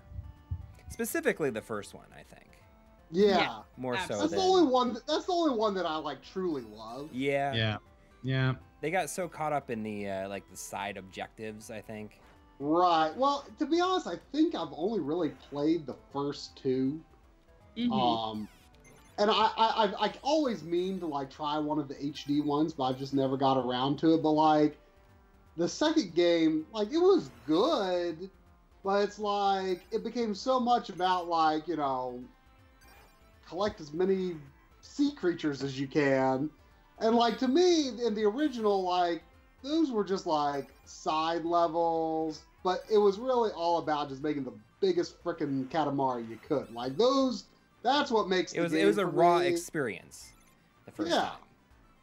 Yeah, it was just so like out of left field, like the strangest game I'd ever played at the time, and it was just I, I loved the concept of it's like of of just this scaling world. That It just seamlessly scales with you from this tiny size. Like that kind of thing is just fascinating to me. I think that's that's one of the reasons that you know, I know that like Xenoblade Chronicles X is a very um, you know controversial game. I don't know if maybe that's the word for it, but you know, people were disappointed that it wasn't, you know, uh, story driven like the first Xenoblade was. And but I loved that game, and a large part of it was I just loved the technology that was used to here we go build the world. Uh, you know, and the way that it just seamlessly scaled. You could be this tiny person to going into a mech to flying high above the world, just completely se- seamlessly, and that, that that kind of stuff just, just I always love that. You know, it all started with Katamari. Coury, you did it. You saved the base. Save it. I did, but I'm getting too. What Uh, cost? you know, I just Yeah, I- I- I'm like- I don't have the I'm- brain for it sometimes. You know, that's just like really what my problem is. I, I, I'm I'm I'm impressed ahead that like you this. all are like following what he's doing as much as you are because I'm just like staring blankly at it and talking about video games. I've actually never played any of the Xenogear, Xeno, uh, I guess Xenosaga games. no no Xeno series. No, no. I, I know we we have it for Wii. Yeah, I, pl- I played the Wii one for a hot minute where I was just thinking like I really want to play this game because it seems really good, and I just got so intimidated by it. I was just so Yeah. overwhelmed by what was going on with the game, and then also the combat was sort of like automatic and like kind of, um, like just kind of It definitely managing. takes a little while to kind of figure out what's I- going on. I I, Took me a I while, like the combat in uh, uh, the Wii U game a lot more personally. Um, the mech combat was not as good, but the on foot combat, like, it's very sort of fluid. Like, it's not like you know the first the first game, and you know it was very much kind of a single player MMO style of game, and it was kind of you know going through your your ability rotation. You know, use this, and then you use this, and then you can chain with this, and then you know this and that, and then with uh, Chronicles X, um, there is like if you were by yourself, there would be a you know a ability cycle, so to speak, an optimal cycle of you use this, use this, use that. But your party members um, sort of like give requests, so to speak. So they're like, I need an ability that does this. And if you do that, then it like, so you can choose between like, oh, but I wanted to do this. But if you do what your party member does, then that like kind of puts you more in sync with your party. And what's kind of cool about that is that that's kind of how you keep your party alive. You don't, there are healing abilities, sort of, but they do so little that it's not that helpful. Your party, like, keeps its own HP up by sort of just staying in sync with each other. So that kind of throws an interesting wrinkle into the battle system, I think. So you're not just doing the same thing over and over again. You're kind of also like coordinating with your uh, AI party members. It just makes it very interesting, I think. Um, I mean, but you know, yeah, it, it you know, it's it's very much a MMO sort of style game, and the you know the the the story you know is is not as well constructed. Um, but uh, the first game was kind of a fun story. Like I didn't I didn't like the first one as much as a lot of other people do, but I really do like how it's it feels like a 90s RPG. Like it not not in terms of gameplay, but in terms of just the scenario. It very much feels like a nine like a mid 90s RPG. kind of vaguely anime. Yeah. Yeah, yeah. I mean, but it's like it's got this sort of I don't really know how to put it. It just feels very adventurous. Yeah. And Like, the, what the, like, like so many possibilities in this world that you can go. yeah. Uh, and and the first game, like a lot of people, you know, you were saying you were kind of overwhelmed. Um, you know, it's got a ton of like side quests and stuff.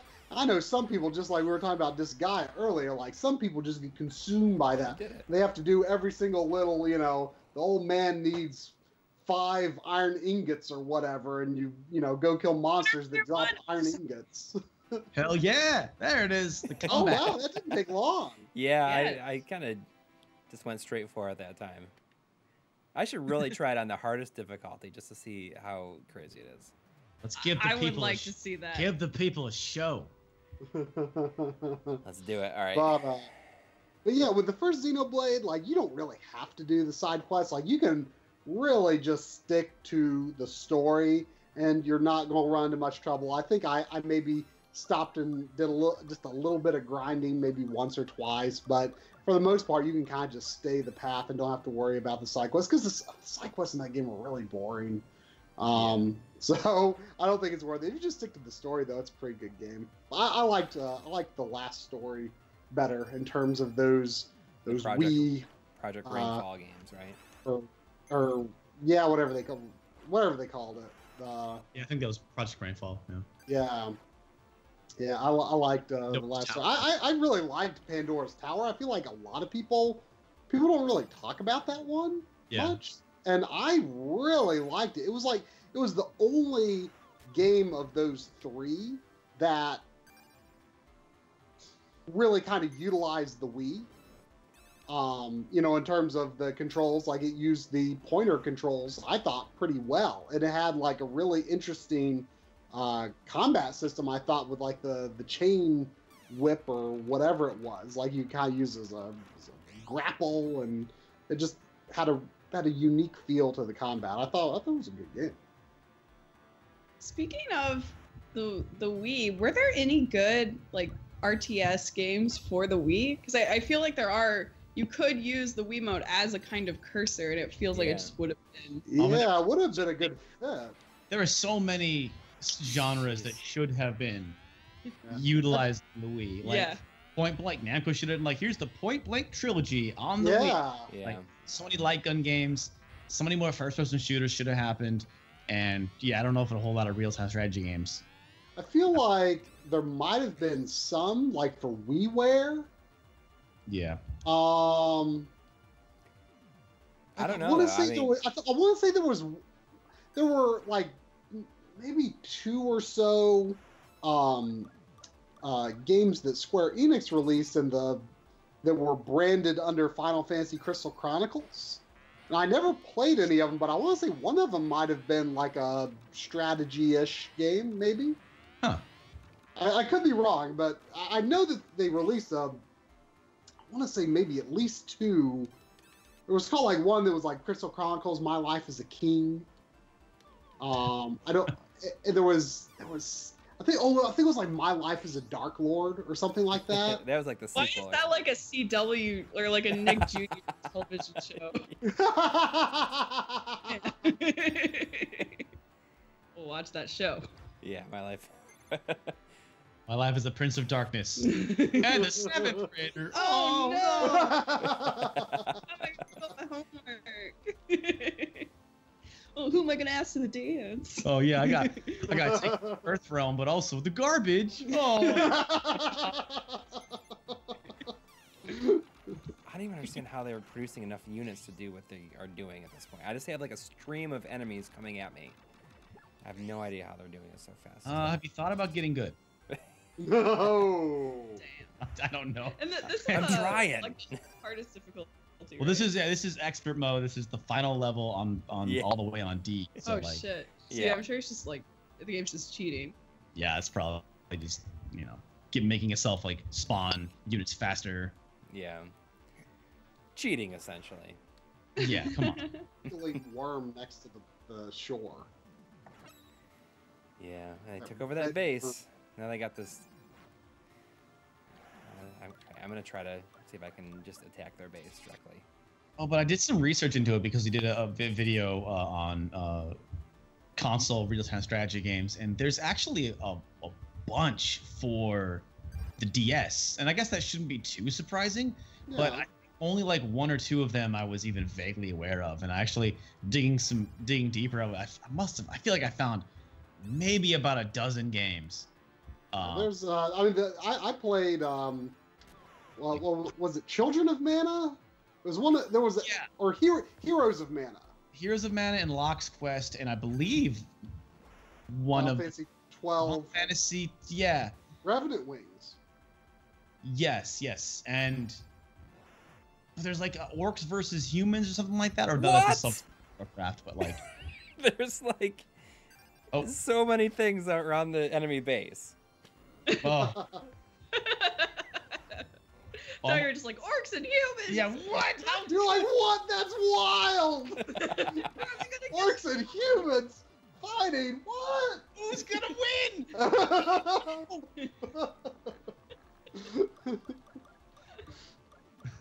That's, that's yeah, I had. I don't have it anymore.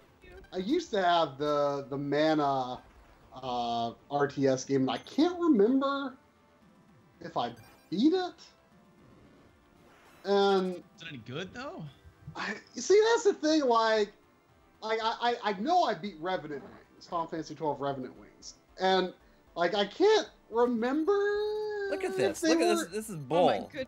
Look at all these missiles. Oh my god. Missiles. I don't even understand. Um, there's a missile, Gary. But There's a um, missile in I- my I house, can't- Gary. I, I can't remember if they're any good, and honestly, like I don't feel qualified to say if they're any good or if they're bad. Like I feel like most people would be would probably say they're bad, but to me, it's just like, ooh, like I, I, I just, I'm not. I, I'm just I'm not really an RTS player, so I don't feel qualified whether to say it is a good RTS or a bad RTS or you know, it's they were passable. I think maybe I didn't like. I, I feel like I did not beat Heroes of Mana. I know I beat Revenant Wings, but I don't think I beat Heroes of Mana, so I probably didn't like that one. I think But- you consume games slightly different than most, because I because my logic would be like, oh, you beat them, they must have been at least all right, because or else you would have walked away from them. But Yeah. I mean, like, like for like for me, like I won't. Like like my my thing is like I. Like you know, like I say, I, want to you know keep the backlog down. Like I only buy games that I think I'm going to want to beat. And if I like really really don't like it, I'm like I just cannot enjoy this game enough to beat it. Then like I, I gotta sell it. Um, ah, That's okay. fair. That's fair. like the the, the experience No, of not so much anymore though. Like I, well, I mean the thing is, well, I mean. Nine list. I mean, like, I, I, I don't sell games if I have, like, I used to sell some games that, like, I had beaten. I was like, ah, you know, this game didn't make, like, a big impact on me, or, you know, it wasn't anything that special. And then I, I went through this phase, you know, obviously before doing YouTube, where I sold. Uh, you know, I kind of whittled down my collection. Now, like, I, I regretted selling a lot of those, and I've, I've got several back. Um, Yeah, But- we, we did that with Donkey Kongas. Sold like three pairs of them. Tried. Oh my god, tried to. I had to lower the price. Like I, don't, I think it listed it four times. Kept on lowering the price. there was there was two sets that were complete in box setting at Goodwill for ten dollars for so long. Yep. See, like for me, like the experience of playing from beginning to end is like really a really important part of playing a game to me because that's like getting to the end is what compels me. Um, like it's hard for me. I mean, you know, I can play a demo and be like, yeah, this seems pretty awesome, but more often than not, like I can't figure out from a demo whether the game is any good because I don't have that uh, driving factor. It's like, okay, well, the mechanics seem okay, but I can't quite figure out how they're going to play over the course of the game because I've got to be compelled to get to that next step, or I've got to think like, oh, how am I going to build my character? What am I going to do with my character? Like it's always about what's driving me forward toward the goal that that compels me with a game. And you know, I think that's why like I've I mean if I had the the opportunity to go to E3, you know, someday without it like costing a bunch of money or something, sure I'd go. But like I think I've like lost interest in, you know, that you know, that that, that for years. Playing and games that are not done. oh, E3. Now I realize, like, wait a second. I'm going to spend all day standing in line to play games that I can't even take home with me. so, like, it's like, what, like, what do I get out of playing a game for 10 minutes that I'm going to get to play three months from now? You know, that I could actually play the finished product, play all the way through it. And so I was like, you know what? You get a better view of E3 from home, I think. Yeah. Well, but except, uh, I mean, you guys do have a very special case where you guys do go out and you make these like mini documentaries. So that would be like a great way to go Oh, get yeah, yeah. interviews and stuff. That's what we do Right. at uh, at PAX. Like we uh, go out and try to just talk to indie game devs and kind of. Mhm, mhm. Uh, yeah, yeah. I mean, I've certainly thought about stuff like that. Like, ooh, what would be some some good places to like, you know, where there's like a gathering of interesting people to talk to, um, you know. But I think you have to go into it with the intent of, you know, because we brought our, our cameras to some events and be like, yeah, yeah, we should we should shoot something while we're there. And guess what? We don't. It's only if you go into it like planning like we are going to do this thing. Like so, for example, like last year when we went to too many games, we wanted to interview a variety. We did a, a we were planning a documentary on limited run, which we released last summer. That's October, And- actually. We um was it in October? Yeah, believe it or not. Really, October? Wow. Coury, the game Well- is going insane right now. I know. It's you know I got this idea of like maybe I can just like chip it away like a little bit by a little bit, just dropping a unit there every time I every every life. If I can just last long enough. I mean, look at he's he's lost little health. the base has. That's the B on the. Uh, Well, folks, welcome to the 10-hour nonstop live stream of this level. For oh, But yeah, I'm sorry. What? So you you- you guys made a video for Too Many Games last year? Yo, Or- right, right, right. So part of our plan for the limited run documentary was that we wanted to like open it up, just talking to random people. Like you know, just we talked to some YouTubers, we talked to just you know random people on the show floor, um, and you know got their thoughts on physical games and digital games, and we wanted to like open up the documentary with just random people talking about that, and so we're, we're like that'll be fun. And so that we uh, you know we went into too many games last year with that plan and we did it. But you know outside of that um, you know we've shot limited things at conventions other than like our panels. Yeah. We almost had. but you know, it's David always a good idea to yes yes we, we almost interviewed david wise it's a, it's a Oh, it's a, a very exciting and heartbreaking story Yeah. missing him by ten seconds. Oh, Uh, Oh. more more like maybe twenty seconds, Tw- twenty to 40 Whatever, you know. It's, Yeah, I I, I, I I think I think he was drunk and didn't didn't realize that he had agreed to do an interview. oh, no. look at It look, was- four- yeah. they over twice as many. Maybe he doesn't want to answer questions about Wizards and Warriors 2 and why the title theme music is fucking phenomenal. That's the Like, one. hey, you know, well- it, it was interesting because like during his panel, um, this was at Magfest this year. Um, uh, during his uh, his panel, uh, I was surprised how much NES questions he got. Like I didn't think people were going to ask a lot of NES stuff, and, and they did. Um, you know, I thought it was going to be like almost about exclusively talking- Battletoads. but yeah, it was so funny because he like he doesn't like pronounce he doesn't like enunciate the T's in Battletoads, so it's like Battletoads. Hey, the soundtrack of Battletoads is probably the best part of that though, that game. So you can answer those questions all day. Yeah. but uh, yeah, well, it was actually funny. Like uh, someone asked him, uh, you know, like they were like, they were like, they were like the the pause music in Battletoads is the best thing ever. Like, can, can you give some insight into that? He's All right. like, Slow down, he's like, he's like, It's cool song, but I, I, I have to admit, you know, I did not make the pause music. Like one of the programmers just put that together. that's Pa- Battletoads pause music, not David Wise. Everyone's well, wait, it's, it's just like a bunch of sound effects put into a Yeah. simple beat. yeah. Doody, doody, doody, doody. It's like the big punch sound effect and like one of the chipping sounds. It's like Or when it, Well, like Street Fighter Two, when you pa- when you uh, pause it, and it's like what's that?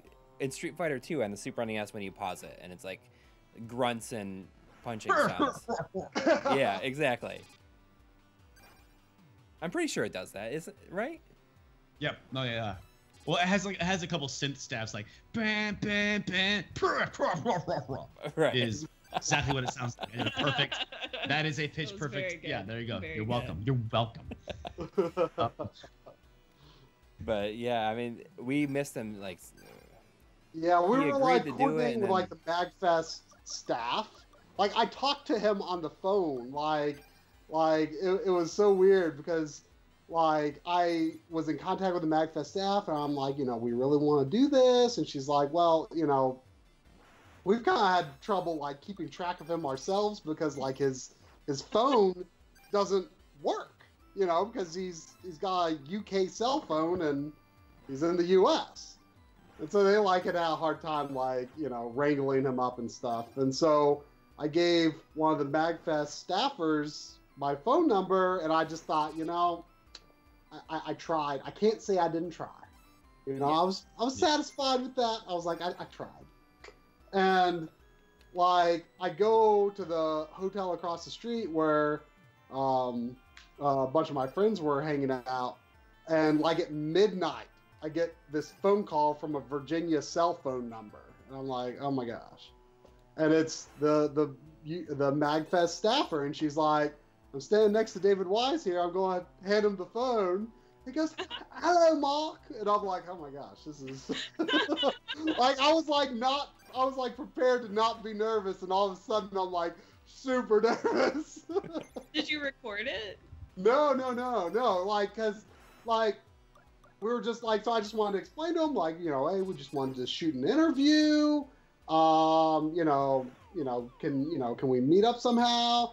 And I'm like I you know I can you know go get my gear and be there in like 20 minutes, and he was like talking about like they were going to go down to like the bar to get some drinks, and I'm like great, so we'll meet you there, and like we actually got there like quicker than I said I would, and uh, he just wasn't there. We're like, did he mean somewhere else? So like we like split up and like went everywhere that like he possibly could have meant. And he didn't show up. We're like waiting around for like 45 minutes to an hour, and then like the Magfest staffer comes and we're like, he never came, and she's I'm like, you know, I, I she said she was gonna like meet up with him later. I'm like, like maybe we can like follow you and go wherever you're meeting up with him later. She's like, well, later is now. like I was supposed to meet up with him now. So she calls some people she knows, she finally finds out like where he is, and it's like in this like on the fifth or sixth floor or something. And so we go up the elevator, go up this room. We're like, you know, the Magfest Hotel hallways are super, super long. And we're we're going down the hallway, and like way off in the distance, we see a figure go across the hallway. And she goes, "Was that him? I think that was him." I'm like, "I don't know. Like I wasn't paying that much attention." But we got to the end of the hallway, and there was a stairwell, like in the direction he was walking, and we're like, "Oh no!" and we thought, well, maybe he was going to to where we were supposed to meet him. So we go to the room. I was like, it was so weird because it was just like, like I thought he was like going to be hanging out with like, you know, like some of his composer buddies or something. It was just like a group of like regular old nerds like us playing Donkey Kong Country on a Super Nintendo in their hotel room. This is who he was hanging out with. And so we like, like, tell, tell us about the soundtrack when we play it. it was so weird. And so, So anyway, we're like, You write this song too, Dave? Yeah. Like, what was- That, it was, was that must have just so weird. And so, and so she was like, "Was David Wise just here?" And they're like, "Yeah, he left like a minute ago." oh my god. Thinking that was him. And so we like split up, like trying to go like all the locations he might have been. And then like I texted the staffer back, and I'm like, "Well, he's not here." And then she got back to me. She's like, "I I just heard that he went to bed." it was like this is the last night of Magfest too. So there, was, there wasn't anything. There wasn't nothing I could do. So I, I can't say I didn't try, but we were we were this close. We were this close. Might, might, might just have to go to England one day and just, just do it. do cons in England. yeah. You could do.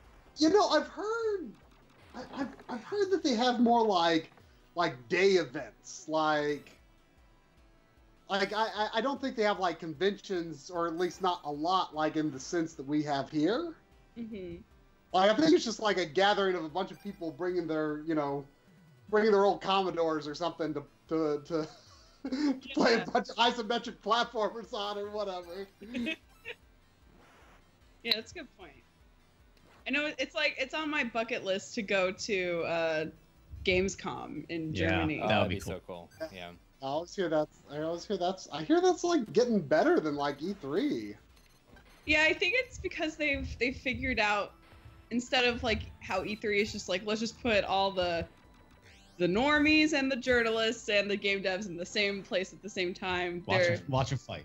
yeah, just watch them fight. They they like I think uh, Gamescom is like okay, we have like a day for people who are like actually doing their jobs and trying to get PR out, and now here's when everyone else can come in, Yeah. which is good. I think maybe might work a little bit and it's better. and it's also very very big and also it's like right in the middle of europe there so it's a completely different Angela how- Merkel is going to be opening it this year. Yeah. Which is fucking- Really? Yeah. Wow, that's crazy. It's election year for her, so I guess she's trying Oh, to yeah. reach out to the people. yeah i love video uh, i play all the video game i hope i have a vote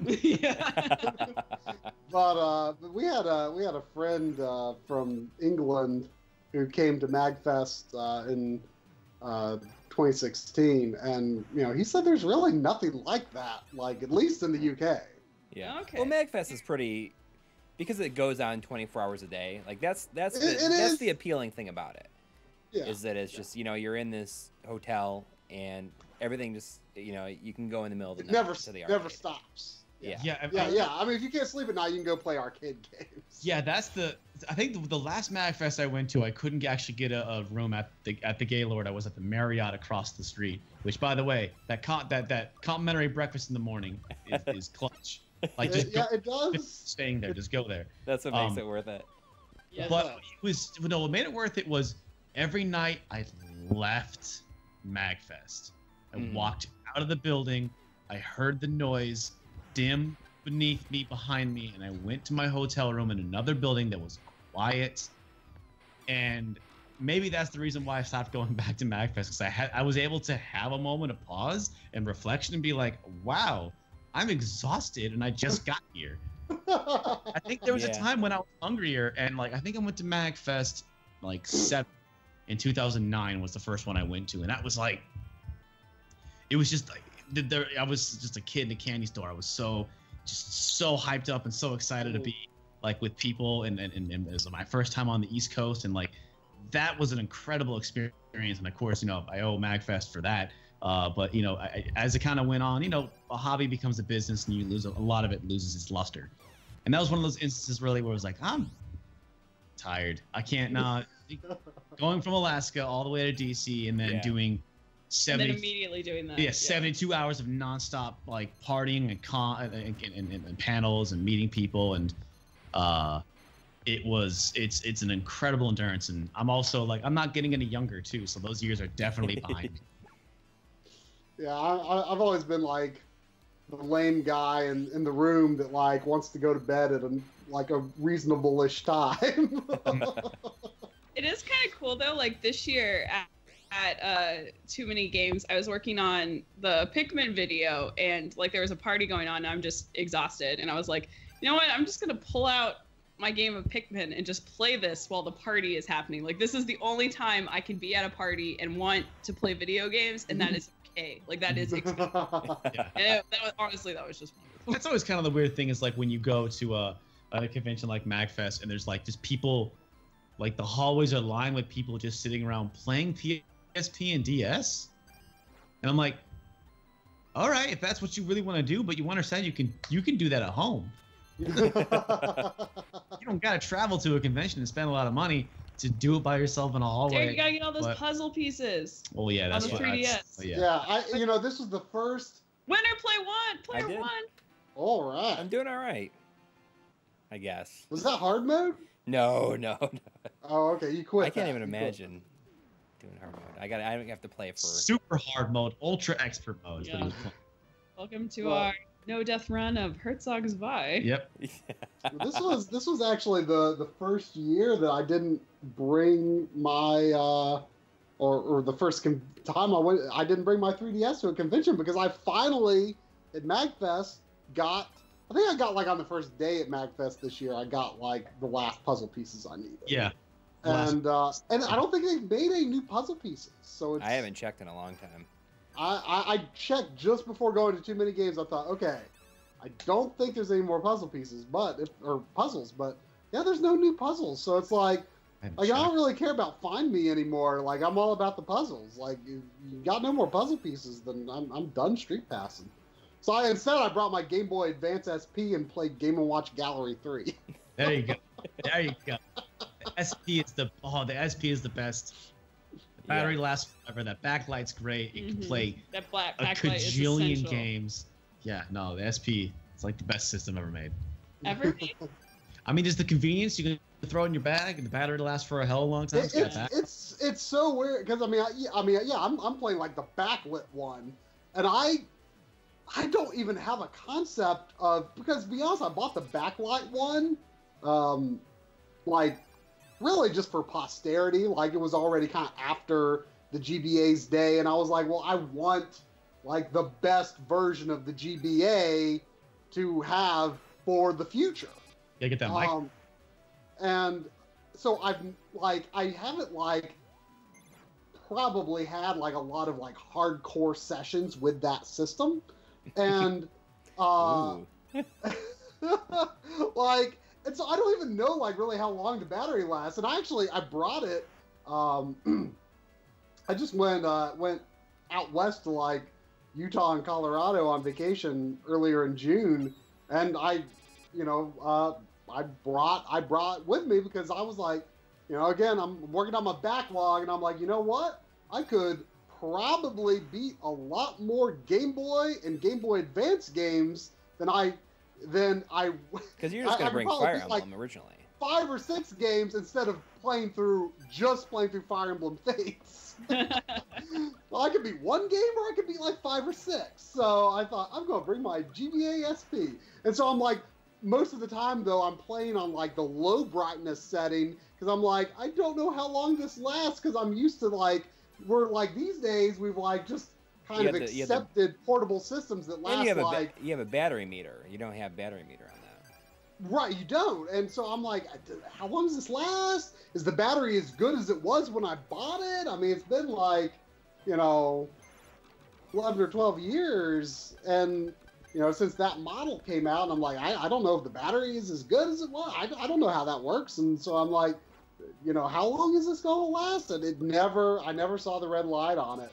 I mean, I charged it, you know, most nights, but, it, you know, we're, we're so used to these systems nowadays that last you know, three and a half and four and five and maybe six hours.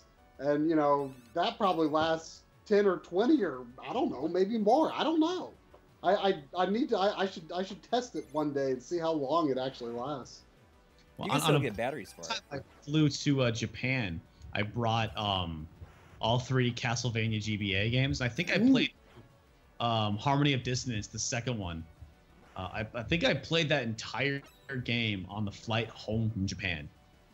Wow. We're really, really actually from Korea to uh, Alaska. We actually, you go past the point you want to go, and it was like, no, just don't go to Korea. Just stop us off at Japan real quick. Don't like. It, it- I don't recall the battery even like it maybe went to yellow. if so you flew from uh, Alaska when you, you went to Japan when you lived in Alaska. yeah, this is this is also like when I was a teenager. This, This like, was before the show start, like before HVGN. This is like started, so it was a while ago. Yeah, 2003. Yeah. So But like, what was it like? A lot easier flying to Japan from Alaska than other places, or Man. I don't know. That's the only time it's flown to It was a- Japan. It was a very long flight. It was yeah, it was like a 12-hour flight. I think. I don't. Um, yeah, I mean, we've been we've been trying to figure out like you know like man, if we could we could like shoot some sort of documentary projects in Japan someday. You know, we're like you know we're we're like well, what's going to be like the best way to get. Were you asking because like Alaska's a little more further west? yeah. Yeah, and and north, of course. I don't know. Further north though. I think in the Oh, end. it's too far north. So I think yeah, flying out of Seattle, you know, is I think puts us on the proper Uh, it's much much studio. more. Yeah, but we have some friends of ours getting uh, married in Hawaii, and after after their marriage, they're going to Japan, and they said like it's still a seven-hour flight even from Hawaii. Oh It's wow. Japan far away. You're splitting hairs at that point. It doesn't Yeah. matter. Yeah. Strap in. Yeah, no matter Yeah. what. Yeah. Yeah, the, the, the question now is, you know, what you what what kind of uh, portable battery are you gonna have to buy for the Switch? to last the entire flight. Yeah, Maybe they have something. They don't have cigarette lighters know. anymore. I have a, a, a an outlet. I mean for for us, you know, when we set the the, the brightness to half, it pretty much lasted basically the whole flight from to and from uh, L.A. Yeah. I'm uh Damn. I have I I don't know how you feel. I have bad eyesight. Like I need that brightness all the way up. like, Yeah. I can't. I mean, I, I I prefer the brightness to be up, but I you know if it means I can play longer, I can begrudgingly accept bringing it down. Yeah. Just realized I'm the only one who's not wearing glasses.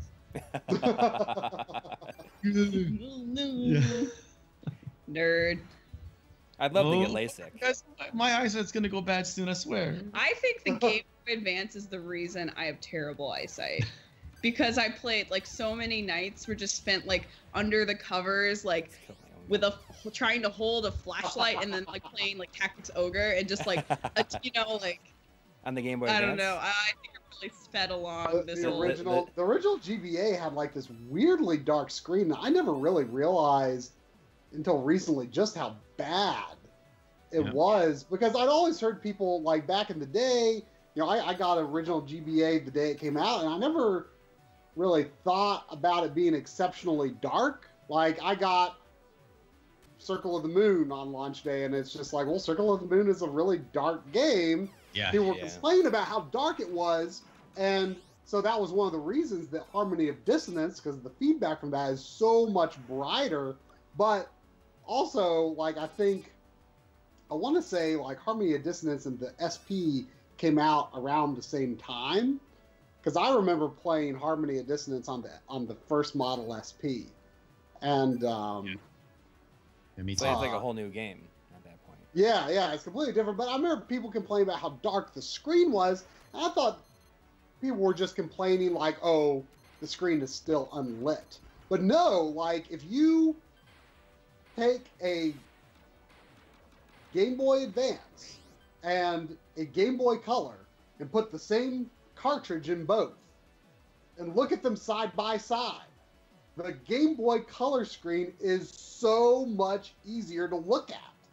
Like Hmm. it is just inherently less dark. I'm not talking about light, obviously, but I'm talking about the way light hits it. It just the Game Boy Color. I Like when after doing our huge blowout hour long Game Boy episode, like I definitely had a newfound respect for the color. Like I've always the color has always kind of just been there for me because I never there's not like that many color exclusive games that I'm like really into.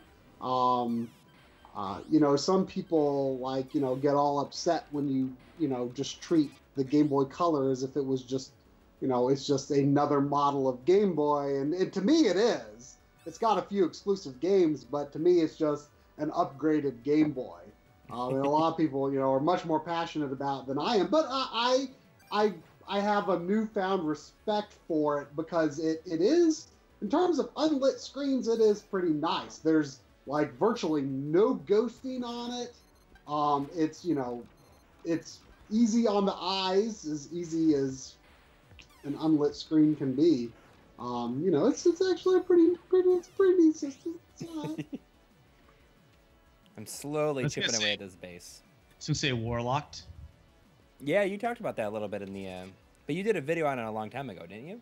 Yeah, that was the first. uh, That was the first punching weight. It was the game that kind of Right, right. inspired Uh, that show in the first place because uh, I I wanted to talk about warlocked, uh, basically since I got into this whole YouTube uh, shenanigan business. Is And that this- Game Boy Color exclusive? Yeah, yeah. Okay, all right. and uh, they were gonna make a Game Boy Advance sequel, and I guess I think there's a, a beta that you can still download, or at least just pictures and, and video of it out there. But they uh, they canceled that, never came to be. But there's there's a handful of Game Boy Color exclusives that are really really good, like also uh, Metal Gear Solid. Yeah, Ghost Didn't even- Babel, right? I mean, You in- know, in, I- the U.S. it was just Metal Gear Solid, I, which is weird. I almost, I almost got Ghost Babel. um, You're a hero, Coury. when uh, when, Nine uh, when under I, ten minutes. there was a there was a copy at a store near Coury's house when I was up that way, and um, I almost got it. I'd never really seen much of anything about the game, and it was you know I had a limited amount of cash, and I, I upped it for buying other things. Um, and then later, someone was like, "Oh, thank goodness you can get that. That was bad." And I've always like assumed that people say it's bad, but I'm still like curious. So you like it? I mean, it's a Game Boy Color game, so like put your expectations accordingly. but for a Game Boy Color game, it's fucking phenomenal. It has a super. It, it, it is a Metal Gear Solid game in that like it has a lot of dialogue and a pretty good story. Um, but it's interesting in that it is not a remake of the uh, the NES game or the PlayStation One game. It's like a separate alternate universe, like alternate. It's a side story. it's like a side story alternate sequel to um, MGS One or something like that. I, I So I it's think- not canonical, but no, no, and I, I- I said something to that effect in the video, and I think I actually got that fact wrong. He pointed, corrected me on it. So I, I, I also said like I'm not, I don't even know. The universe of uh, MGS is huge and giant. I'm probably gonna get it wrong, but uh, has a ton of VR missions that you could also do two player if you want. Yeah. Um, yeah, it, it's it's an incredible package for a GBA game. You know, it is not one or of the all great games. Oh, yeah, GBC game. Thank you. Uh, but for a Game Boy Color game, it's incredible. It's not one of the all-time great games ever made, uh, but it is certainly when you, it's I don't understand how you can't look at that game and be like, wow, they took these limitations and like crafted an incredible little thing in this little box. These little, all the limitations of the Game Boy Color. Yeah, well, you know what? I I actually uh, played. Um, when was it? Maybe it might have been uh, this past October. Um, I played uh, Resident Evil Gaiden, which you know Yeah. I'd always heard people not say nice things about that. I thought it was really good. Oh, I agree. Actually, yeah, I I, I uh, did a video on Resident Evil Survivor on the PS1, and uh, it was sort of a let's play style video Mhm. where we had a lot of fun playing the game because it's it's terrible. that ending though. I don't Try, know. You There's beat that, right? You beat. Yeah, Sure. I, I I- I'm trying to blank on what happened near the end. You know, I, I it's actually kind of it's like funny. three times he keeps getting bigger. He keeps hulking out more. Yeah, the the, Oh, no, the I'm talking final battle was Just when you think he couldn't hulk out more. Did you go Survivor? Am are we thinking where it's the that's the one where you're on the cruise ship, right? Oh no, no, yeah. Well, I was, but I was saying like the point I was trying to get to is like, uh, people talked about Resident Evil Survivor as like, oh no, man, you gotta play Gaiden. Resident Evil Gaiden is that's the worst Resident Evil game. What are you even doing?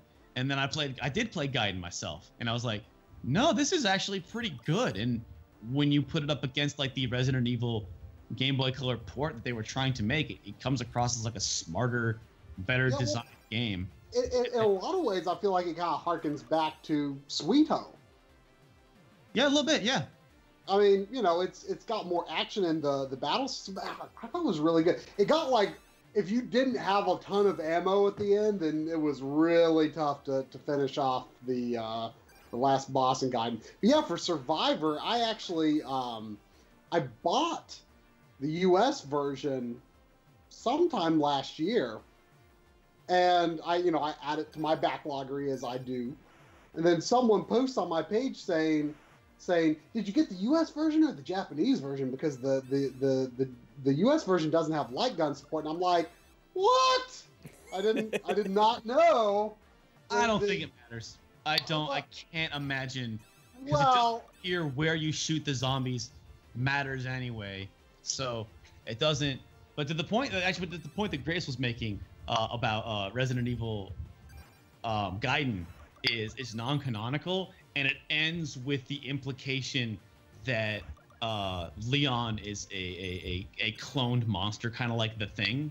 oh yeah, yeah, yeah. But yeah, the implication is that like post, I guess post Resident Evil Three, Leon is actually like a a, a, a BOW, um, you know, Just waiting to be he's basically triggered. yeah, he's basically like a tyrant, just like he's free and he's gonna take control now, yeah. So is that why they probably pushed it out of the canon? Because Yeah. Everyone Yeah. They loves. break the everyone- continuity. everyone- Yeah. Absolutely. And I think because it's called Gaiden, Gaiden is Japanese for side story anyway. Yeah. So I, I- it, it, I think them calling it Resident Evil Gaiden is their way of saying the non-canonical fun times on a boat. You know, it's, Which don't count, everyone.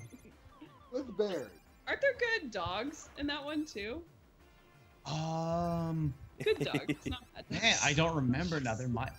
I thought you were friends with a dog. Like Barry becomes friends with a bunch of dogs at some point. On the, Actually, like I don't know. Maybe I need to look this No, up. I I'm don't- I Sorry, don't- everybody. Yeah, I'm sure there is He made a joke lots of in video. Oh wait, maybe I just made a joke. Maybe that that's like a joke I wrote, and then I'm confusing It's it like, for yeah, real life. yeah, you're on a cruise ship full of dogs. Just kidding, zombies. You know? yeah. it, was. It was a dumb little yeah, joke. yeah, like survive. So Survivor. Um, I was like, I mean, I, I don't really care whether you know it, whether the, the gun support is good or not. It's like I I freaking want to play it with the gun. Dang it! So I, I uh, so I, I like as soon as that person told me that, I like go to eBay. I'm like, okay, I, I gotta buy the Japanese version. And I found found this auction or not? It wasn't an auction. It was a buy it now. That that was like every single Japanese Resident Evil game in like mint condition, and it was like thirty bucks shipped. Whoa. I'm buying that. So it's like it, it was it was Biohazard, Biohazard Two, Biohazard Three, and Biohazard Gun Survivor for thirty bucks shipped, and they're mint. So I'm like, that was that was a fun deal. And now I've got like a, on disc the version of the opening where where they don't cut away from Chris and like they actually show they show Chris lighting up. Oh like yeah, you- oh yeah. Well, Chris lights up a cigarette, and then we see Joseph. He gets mauled. yeah. Our time with him dying, and its head shows up when the monster is eating his brains. yeah. So so- Joseph, so it sounds like it's like it's like dubbed over. I, I did uh, I played uh, No. played uh, the Gun Survivor with with the with the Gun Con, and it was it was an interesting experience. I mean, I overall I would say I enjoyed it. It's definitely very clunky, um, but but I, I had fun enough with it. Like, but the last battle, like, you know, it's a limited lives game, so I think I was on my last life when I finally uh, beat the tyrant, and you just like had like I, I I had this like pattern where like I was just like going in a circle around the arena. And I stopped, turned around, had had time to do like one shot, had to turn around, go in the circle again. Turn. I just was doing that for like 20 minutes, and it was like it took the most concentration that you could imagine. it was, but I did it. I did it, and I was Yeah, proud of great game. It's a great game. and, uh, I, uh, I I was streaming on the uh, on the backloggery streams. I was I am not too sure how I feel about Resident Evil Outbreak. and I'll, have you all played Outbreak before? No, I never played the Outbreak games. Do It we- is. No, we don't. Oh, No, okay, we don't I don't have any of them. Yeah. Um,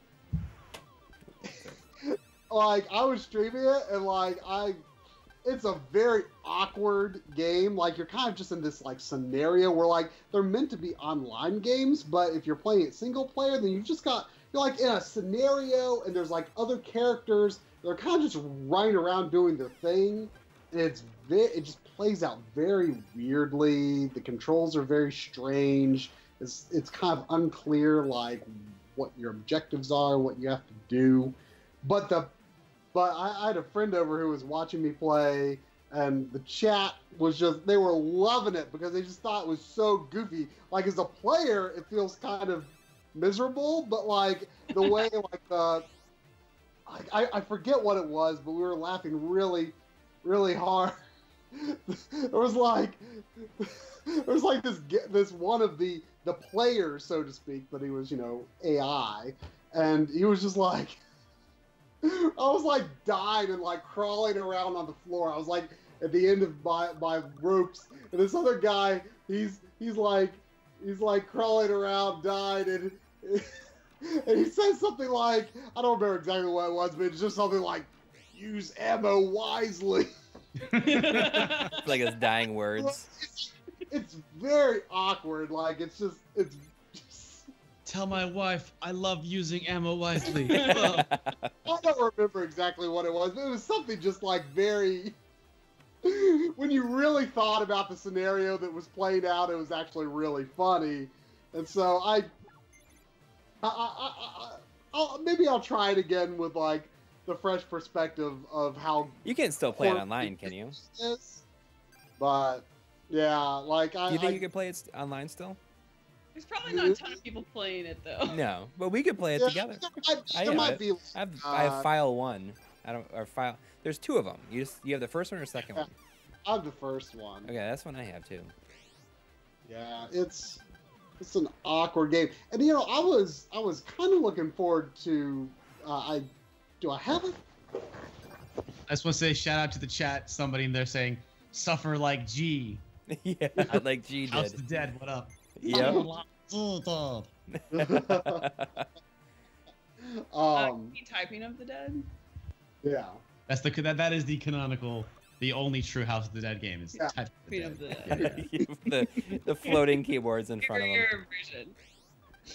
Love it. I have Uh, the, the I, I Dreamcast have uh, version. I have I have Resident Evil Dead Aim, which is you know another gun survivor game, and I was looking forward to that, but I, I need to I need to actually test it out because You were um, disappointed with uh, Dino Stalker. I, I, I you know I mean at the end of the day, it's like how how bad can a light gun game be? I mean you just shoot at stuff. It's fun, you know. So it's like it's like yeah, it have to be hard for a light gun game to be bad, but Dino Stalker, like I was not expecting this. Like you move around in Dino Stalker. Oh, you do that in on- Dead Aim too. huh? You do that in Dead Aim too. You move Do around. you see? I, I wasn't sure, and I'm like, ooh, maybe Yeah. Dead Aim isn't going to be. I mean, It's not as fun you- when it's when it's. I mean, it, it needs to be on rails. I think to be fun. Yeah, I mean, you do. I mean, yeah, you can walk around in uh, Gun Survivor, but like Dino Stalker, for some reason, I expected to be on rails, and the controls don't work as well. And the the problem is, like Resident Evil uh, Gun Survivor. I mean, you are, you know, you're, you're just wandering around, and you know, you, you got all the time in the world. Dino Stalker has a time limit. I feel like a time limit only works in on rails game. Like you, have to like collect these things to extend your time, and it just it did not work. I, I feel like the time limit was just just a bad idea for a game where you have free free movement. And I honestly I thought the Gun Survivor gun movement controls were better than uh, the the Dino Stalker one. So I don't know. We'll see. For what it's worth, like the the Resident Evil Gun Survivor series is, is kind of an ambitious one. They were really trying to do something. I think they were trying to do more than a House of the Dead style time time crisis Yeah, type yeah. game. But Yeah, I like mean, it just didn't work out. I, I've heard that Dead Aim um, is maybe like the best one. I've also Ooh. heard that the Code Veronica Gun Survivor 2, which only came out in uh, Japan and PAL, Right. that- that's even worse than Gun Survivor 1. People have claimed. Really? Really? So maybe I guess that's good. It didn't come out here then. I, I guess the the Wii the Wii Umbrella Chronicles and Dark Side Chronicles are kind of like Yeah. replacements for those games. Those are on rails, right? They I are think so, on yeah. rails, yeah. I haven't played them. I have them both, but I I got them at Really? Target on clearance. Uh, they were. I uh, think I got them both for ten dollars in a package. next time at next time at your house, I'm at your house. We should like co-op those on stream. Yeah, is it better than uh, Dead Space Ignition? Is that what it's called? Extraction? Extraction. That's right. Extraction. Ig- Ignition Oh. was the was the mobile game. I thought I thought Extraction was. I mean, I thought Extraction was pretty interesting. Like I thought. I mean, it's been a while since I played it, but I thought it did some. It it had some interesting ideas. Uh, whereas I, I would say that the, the the Resident Evil Chronicles games are they're- they're pretty straightforward. Yeah. Um, The Dead Space Extraction being, a, like, I- was a huge fan of the first Dead Space, and I thought that was like a hell of a treat. Because it, because it really picks up, it's it, it's it's a, a de- decent light gun game, but also because of the story and the universe, Right. Dead I- Space, it really do a good job of bringing that into that game. yeah, if I remember, I think I actually played Extraction before I played Dead Space. So Oh, that's a, well, that's a that that might not be the best way to play that game. Probably not, but I, I still thought it was like it was interesting because for the most part it's a different set of characters. yeah, It, it, yeah, you, you don't play as Isaac, but all of the characters and all the things that happen in that game, I'm pretty sure, it's still within that universe because it takes place on the Ishimura and Right. it, it starts with like after they take out the marker and stuff like that, and Mhm. it talks right. a lot about how the Unitology uprising happened, and and it, I, I recall it being a, a, a pretty pretty pretty spectacular game for what it was trying to do. Yeah, I mean, it, it, it, it was.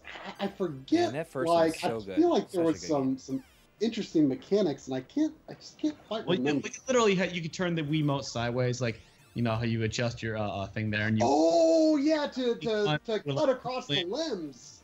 Yeah, and then you had your gravity gun to pull in like you know ammo and, and other unlockables and stuff and they had comic book like literally like spoken comic books that were just like side stories about you know the culture of of the uh the mining um yeah, effort. yeah. I, I mean, I- Because the need to get that unitology stuff was only someday. kind of like they didn't go too much into it in the first game. I mean, it was it was explained, but you know, you didn't really get the size of it. You didn't need to really. It was. Yeah. I mean, man, man, that I game guess- really holds up. Yeah, first one is is really really And- good. I, you know, I feel like I, I, don't- I don't know if this is still the the popular opinion, but like when the second game came out, I feel like like people were people thought the second game was better, but I always liked the first one better. no I, I think that is the popular opinion and i've always been We're this. We're at Dead Space One. Uh, yeah, exactly. yeah. Dead, totally Dead Space 2 it. is like a fun, gory action game that happens to be called Dead Space. But it's like, to me, it's like. The, Yeah, I thought it was- these things made Dead Space 1 good, and it's like. Except for the asteroid battles. oh, Those, are those are worst, yeah. brutal. It's it's, it's kind of like going from Alien to Aliens. You know. Yeah, and then like Dead Space 3 was like half good, but kind Didn't of have all. local co-op. Yeah. What the hell? Oh, there- was well, so there's- pushed, there wasn't pushed so local much co-op. mischief on, on the co-op and there, stuff. there wasn't local co-op you could play online and i remember this because i got it for my boyfriend at the time for valentine's day because i thought we could do local co-op together not oh. realizing that you couldn't and yeah. it was I, I got Man, very upset. that's that's Yeah. stupid. Um. Yeah, we, Did we send Cor- blood Coury and I did co-op in Dead Space Three. I just don't remember a lot about. I don't remember but- anything about it. Yeah. The the thing with two though, like I just remember like there being a lot of scenarios where like like there was just like a bunch of enemies just like all in your face, and it was like It's like going from couldn't have done anything to prevent it. Yeah, it's like it's like Alien versus Aliens, because you know, like the first one is you know this is kind of a slow burn. Yeah, but And I the mean, second one is two just, is like, definitely chaos. still got like that atmosphere. I couldn't going tell you like it, but- anything about the second game except for when he gets like the needle in his eye. yeah Yeah, yeah. and that might be remember there because was of commercials more than anything else Oh like, really? only I That happens way, way late. I think that that happens like literally before the end boss. Which yeah. I recall the end boss that looked cool. Like I guess you can't. The Dead Space Two is a good looking game, and it's certainly like there's the set pieces are like lovingly crafted, and it's a very gorgeous game. But it's in service to something that like almost betrays the universe that the first one set up, or at least like just has no interest in expanding that any further. And just like there are a handful of se- sequences that just feel like should belong in a different game. Yeah. I don't know. I, I, I, and I think because if you just played Dead Space 2 and didn't play any of the other games in the trilogy, I think you can actually really, really enjoy that game until you go back and play Dead Space 1 and you realize, oh my god, this whole universe that they were kind of building up around all of these characters is super fascinating, and they did nothing to really push it forward. with Dead Space Three, I, I remember the the final uh, the final boss in that was pretty wild. Yeah. Is that when you're like the like the planet or something like that? You're like, yeah, it's like this Oh, that's Like- planet thing, and like That's- there's like all these like tentacles or something. I think, right?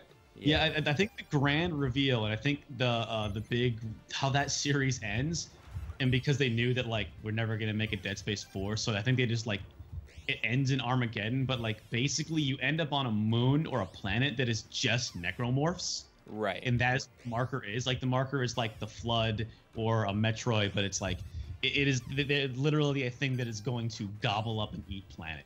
So Right. you end up a a a a a, a gathering of limbs and people to form a planet that eats other planets. Yes. Is I think how that fucking game ends. yeah. And I think it literally ends with oh no, it's going to Earth and we won't get there in time. Oh well, credits. Or maybe Yeah. that's how the DLC is. Yeah, the DLC ends, you know, like it gets there and it, like Earth is destroyed or something like that. Like everything you do is like for nothing at Yeah. the end. Oh well, just, you know, you could just, you know, pretend that two and three don't exist. I guess in the scheme of Speaking things. of, uh, Really, it's Dead Space One and Extraction. That's really all you need. Those Yeah. two. There, I thought the uh, they had like animated movies that were pretty good. I thought. Yeah. I remember watching them. Like I don't remember where I saw it. They're on Netflix or something. Oh yeah, I forgot about that. I remember watching it, but I don't remember really thinking one way or the other about it. yeah, it's You know, speaking of uh, of co-op horror games, um, it's kind of a sad story because, Five. like, uh, what Resident Evil Five. Resident Evil Five. I don't know how you guys feel about Resident Evil Five, but I feel like that is like my favorite co-op game of all time. Um, we, Why? we just started playing it for uh, we're doing some like live streaming stuff for our Patre- Patreon, and it's so fun. Like I- I'm getting it's, so it's into it. I really really good. Yeah. It- it is, It's it is it's definitely great. not as tight as Resident Evil Four, but like I think as a co-op game, Yeah. yeah, no, it's great. I mean that's that I- that is the way to play it is co-op. Right. I mean, I feel like I feel like it's almost as good as Resident Evil 4 only because the co-op is so good. Mhm. And it's got and Wesker is freaking fantastic at it. Well, you don't want to you want to spoil, spoil anything. I, I, I, I, yeah, I know that you fight him at the end, and he, and apparently he finally dies in Resident. Uh, I, I, I ain't gonna say one way or the other. Say what you want about Resident Evil Five and Six, it worked out because Resident Evil Seven, I thought, was great. They brought it back, and it was good. And it's like I don't know, all is forgiven, or I'm not sure what you're doing with Resident Evil right now, Capcom, but it seems like you got something figured out. So bring on Resident Evil Eight. You know, I still But- haven't played I- I- seven. I, I haven't seven loved like I kind of loved that co-op diversion that the series took because I mean, you know, six. You know, it's kind of a weird Resident Evil game, and I felt like they had like built up the world so much at that point that it's like they didn't know where to take the story next, so they just like made this game where they just put everything in, and it's just like see what sticks. It was definitely you know, it, it definitely went too far. But at the end of the day, I still thought it was a kind of an interesting action game. You know, like the the melee combat was actually really good in it. it had a good like the stamina system worked pretty well. Um, you know, it's an action game. I thought it was pretty decent. Um, as a co-op game, I thought it was decent. Not not as good as five, but um, yeah, it definitely a, a flawed game, but it, and a game that didn't really understand what its identity was. But I, I did not think six was a bad game, but I am glad they did not go further down that path. But what I was going to say was uh, me and Coury were all hyped up. Like I played Resident Evil Revelations 2 when it came out, and I really liked it. Um, but I played it solo. Um, and what, one of the things I thought was interesting about uh, have you played Revelations 2? not two. I played a bit of one. know, I, I, I, one is one of my, you know, if you want to call the Revelations games like mainline or at least sort of related to the mainline Resident Evil games, I, Revelations 1 is pretty low on my list. But um, uh, Revelations 2 I actually really liked. And uh, one of the things I thought was interesting about it like you you play as two different sets of characters. And in each of those sets one character can use guns and the other character uses like support abilities. And when you're playing the game single player you sw- you can switch between those characters. Um, and you know do what you need to do um, but if you play it co-op then you know that source seems weirdly unbalanced. You know, most people would think that you know, oh, it'd be boring to play as a character that that that doesn't have weapons, but I thought it would have actually been really interesting. I was looking forward to playing that, especially because Coury still hasn't played Revelations 2, and I thought, oh, well, that'll be fun. I'll play as the support characters, and Coury can play as the gun characters, and, and that's going to be a lot of fun. And we like, you know, we're, we're Set all aside ready to time. I install it. set aside Update it. time. Like Coury got, got got his kids to go to sleep. and then I, I'm like, I, I boot up the game and I like sort of do a little warm up in the, you know, the whatever they call it, mercenaries mode, and I just sort of play around and reacclimate to the controls. And then I go to the main menu and I'm like, I, am I missing something? I can't see a way to mm-hmm. play the campaign online that has co-op, but it's local only. Like I, it, I never heard anyone complain that the co-op wasn't online. I never heard anyone say. I never heard one way or the other, and I just, I just assumed. I just assumed, and it was very disappointing because I was I was looking forward to it. and I uh, still whatever. haven't played it. It's the other way around. Yeah. Yeah, that, we gotta. figure out- Yeah, I mean, I, I mean, don't get me wrong. It's great that they included local co-op. That's fantastic, but Yeah, you guys can play it's it. it it's just a surprise, especially when the game does have like an online. I don't know if they called it mercenaries mode in in, in that, but it's got an online mode, but you can't play the campaign. Yeah. ridiculous. Someone in the chat, uh, Mellow Gaming says you, we could probably do it like using the share play. I don't know how much lag there is Oh, for the hmm, non-host player, but I know that it's definitely impossible to do it that way. interesting. It, isn't that limited to like thirty minute sessions or something? I thought it was, but that might just be for for watch for spectating, Uh, which is, is too bad. Well, hey guys, uh, I think it's been a couple of hours now. Yeah, yeah, oh, definitely. I was gonna say it's like it's after after yeah, uh, I was surprised that you, that you kept playing. You must be like really getting No, into. no, it. I I, was like, I was. It's, it's the I was like, computer's why playing you itself now. another game after eleven. Oh, it I thought it might be. So, do you guys have anything anything coming up you want to want to tease? Any like episodes that you want to say like, hey, this is coming? Well, currently we're doing the uh, Patreon appreciation month, so uh, people that are uh, on our Patreon, like we've been doing uh, streams that are almost daily. We got a whole bunch Oh, of crazy. wow. Um, we just kicked that off, but I'm currently working on uh, history of the Red Ring of Death, and it's probably going to be, you know, uh, one of our longer it's, format it's videos. It's gonna be a banger. It's gonna be a long, long yeah, one. it's What that, is- that's that's what I'm really looking forward to. Um, What oh, is your well, process Grace like working usually? on uh, Oh, a, a, a Patreon exclusive video for uh, Kenji Eno. Yeah. Oh, just nice. as a. Yeah, he did the uh, D Enemy Zero and D two games. So I don't know any long-term uh, HVGN fans uh, might know. Uh, I covered those games many years ago. and So now under Stop Skeletons and Fighting, we are going to be uh, finally taking a closer look at the man. And then um, I got another project that actually I'm looking forward to uh, uh, having the people in the Patreon vote um, about what I'm going to do next. I wanted to tackle another punching weight. So that's kind of like on the docket So yeah, Right so many projects. I guess.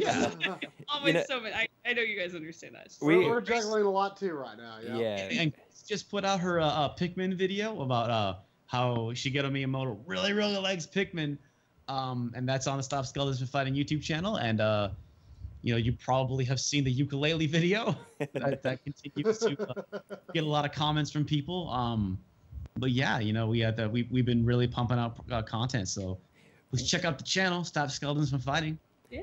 What is your your kind of creative process like? I mean, you kind of do you share uh, script writing duties? I mean, do you like kind of work through it Yes. together? Well, we we, we so someone takes the the the co- the, the project and it it we each kind of have our babies, you know. Like Mhm. for the Pikmin script that just went out recently, like Grace. Yeah. Grace that was because I found out that Shigeru Miyamoto thought that Pikmin would be the next Mario, which is why it was basically a launch title for the GameCube. Mm. And it w- and that's just like kind of crazy in retrospect. So Mhm. it was just kind of like examining that closer. But yeah, like mostly it's we pitch each other ideas and, and then um, we research. We you know usually I do the more research, uh, Yeah. journalism stuff, and then Derek will has like just a knowledge of I'm, almost. I'm actually a giant nerd. I'm not Yeah. sorry to, to yeah. reveal this to you all now. so yeah, like we we basically we take turns writing and editing, but it's Mhm. all it's pretty much like half and half. And then, yeah, at, at the end of the day, though, like we, we both like read over and have hands on the scripts and Yeah. then uh, touch them both, so they, Like they the both kind of go through that factory process. the thing I always find, uh, you know, uh, the best thing about working on a channel, doing a channel with two people, is that it's always so good to like have that extra set of eyes to kind of look over everything, like one final pass before you you, you put it live, and you know, Yeah. you know, like like like like Try's much better writer than I am, so I'll write and he'll kind of go through and you know kind of tweak things, you know, like explain it better, especially with the RGB stuff. Like he's very good at explaining things like in a much easier way than he's he's much better at getting to the point, I guess. Yeah, I, it- it- I, I don't know about that. I one of the I, projects. I, I, t- I just end up making scripts really long. oh, Grace is really good. I, I have a tendency to come to her with scripts that just have tons of information and all of this stuff. Intros that are 500 yeah, and she's just like, no, no, no, stop it, cut it down. Boy, What what, Yeah. what stops me from making the ending too long is that the the version of our ending music that we have like the low music looping is not like that long and it's it's and I've never been gotten around to making a longer version of that. And I'm too lazy to make a longer version of that. And I don't like any- every time I make it like where it's like oh, it's like five seconds too long for the low music, and I have to find a spot to cut it, and I don't like doing that. So that's what ma- that's what keeps me from making at least the end of the video too long. yeah. but it's it's definitely fun. It's it, I think it's I'd much rather do a channel with with somebody else than to do it all on my own. oh yeah, Because I mean, it I- also I- it keeps I've you going too. This far on my own. You know, when you have each other to like, you have another person to push you. You know, like to say like let's let's get this done. You or know? someone else you can tap out. You know, like, can you can you take care of this for me? I'm I, I'm I'm so busy with other things here. That was Yeah. one aspect of the happy video game nerd that it was a it was you know pretty much all me. Mhm. Um, and it was a lot to do, and it's nice to be able to split some duties now. So stop skeletons and fight was a new chapter for uh, you know my production. Like I, I- you know, I say I've been doing this for ten years, but I kind of feel like I've only really been doing it like at the the. I- I've been in the last two and a half years with Stop Skeletons and Fighting, been going at a different pace than I was a Happy Video Game Nerd. So like, yeah, it's been ten years, but really the last two and a half, I feel like were like a different. Not that, not that they were more important, but I just kind of feel like there's a big separation between how Right. you know, uh, to, to say it's been We've 10 years made, unbroken. um, pretty much the same amount of content that you made during the Happy Video Game years I- I- during the last. I two need to check, but I think we're, we're we, we might we might have beat if we haven't passed in total videos, then we're certainly coming up on it. Yeah, Yeah. yeah. yeah. And you just you in re- time. you rebranded the channel, right? You didn't you didn't start a new one. Or yeah. I really never had a, like a branding beforehand. I mean, it's still technically La Pat Jello or Low Fat Yeah. Jello, um, which was just some dumb thing that I, I chose in 2006 because that was how it worked on YouTube. And then yeah, yeah. I always started think doing it in you know like I just used that gaming channel. historian is is like Mc, McFrosticles, gaming historian. Yes, Yeah. yeah. That's how you know it's old YouTube. Yeah. Oh, and like like Still LGR Dan- is like Dan something Wolfie weird too. or something like that. There's That's cute. now it's like a badge of honor. It's like, yeah, I have I've had an account since 06. Good. Well, well, Um, well one, one, one last thing I have to ask before before we go off is is, is there is there a, a particular origin to the name Stop Oh. Skeletons from Fighting? Because it sounds really like like it's like very random, but it's like it's it's like it's catchy and memorable. I think. Nope. Oh, I mean, I, I, I kind of like it because it doesn't feel like it really means anything, but it's just it's it's a cool name. exactly. Thank you. No, that's that is the logic behind it. It's a Game Genie password for the NES game Castle of Dragon, and oh. it's it is is just a Game Genie code to stop these skeleton enemies from attacking. But the, the the syntax that they decided to print in that book was quote Stop. stop skeletons from fighting. I mean, it, it's it sounds like it sounds like you're you're trying to to convey a message. You know, try trying to say you're trying to say something important that the world needs to hear. The skeletons need to stop fighting, but it but it doesn't mean anything. So that's why I but- think it's funny. it's open to that interpretation. and also we, we, we tend we tend to be try, we, even though the ukulele video is very negative we try to be you know very positive I think we go that's- that's important. we have a reason behind it Mhm. so I, you know i think the the idea of stop fighting yeah. yeah. yeah. I, I, we can get behind that that's that's that's definitely think- not too from uh, you know how we feel that is that's great. I mean, we do like you know we we always just like talk about things that we like, you know, and it's very rare that we'll like focus on. I'm things that always we looking don't. for something to like. Yeah, Is that what I feel? And I think that that's something, we- you know, if we disagree, have like a fun conversation about why you disagree, or you know, Right. it's it's you don't have to lose a friendship over opinions about video games. yeah. yes. And I think you know, I think that that's something that's kind of resonating these days. You know, like the kind of the anger phase is kind of like past for a lot of people. You know, as as time has gone on, and I Mhm. think people just want to you know hear like fun stuff or happy stuff Yeah, about games. So pause just, like- vibes. It's like we want to have fun. yeah, Yeah. exactly. All right. Is All that right. about do it this time? Thanks guys I for joining so. us. Yeah, Thanks for a lot of Yeah, fun. thanks for having us. Good talks. Yeah. Yeah. Yeah, well, um, yeah. Everyone, take care. Thanks again. Take care. Good night, everybody. Good night.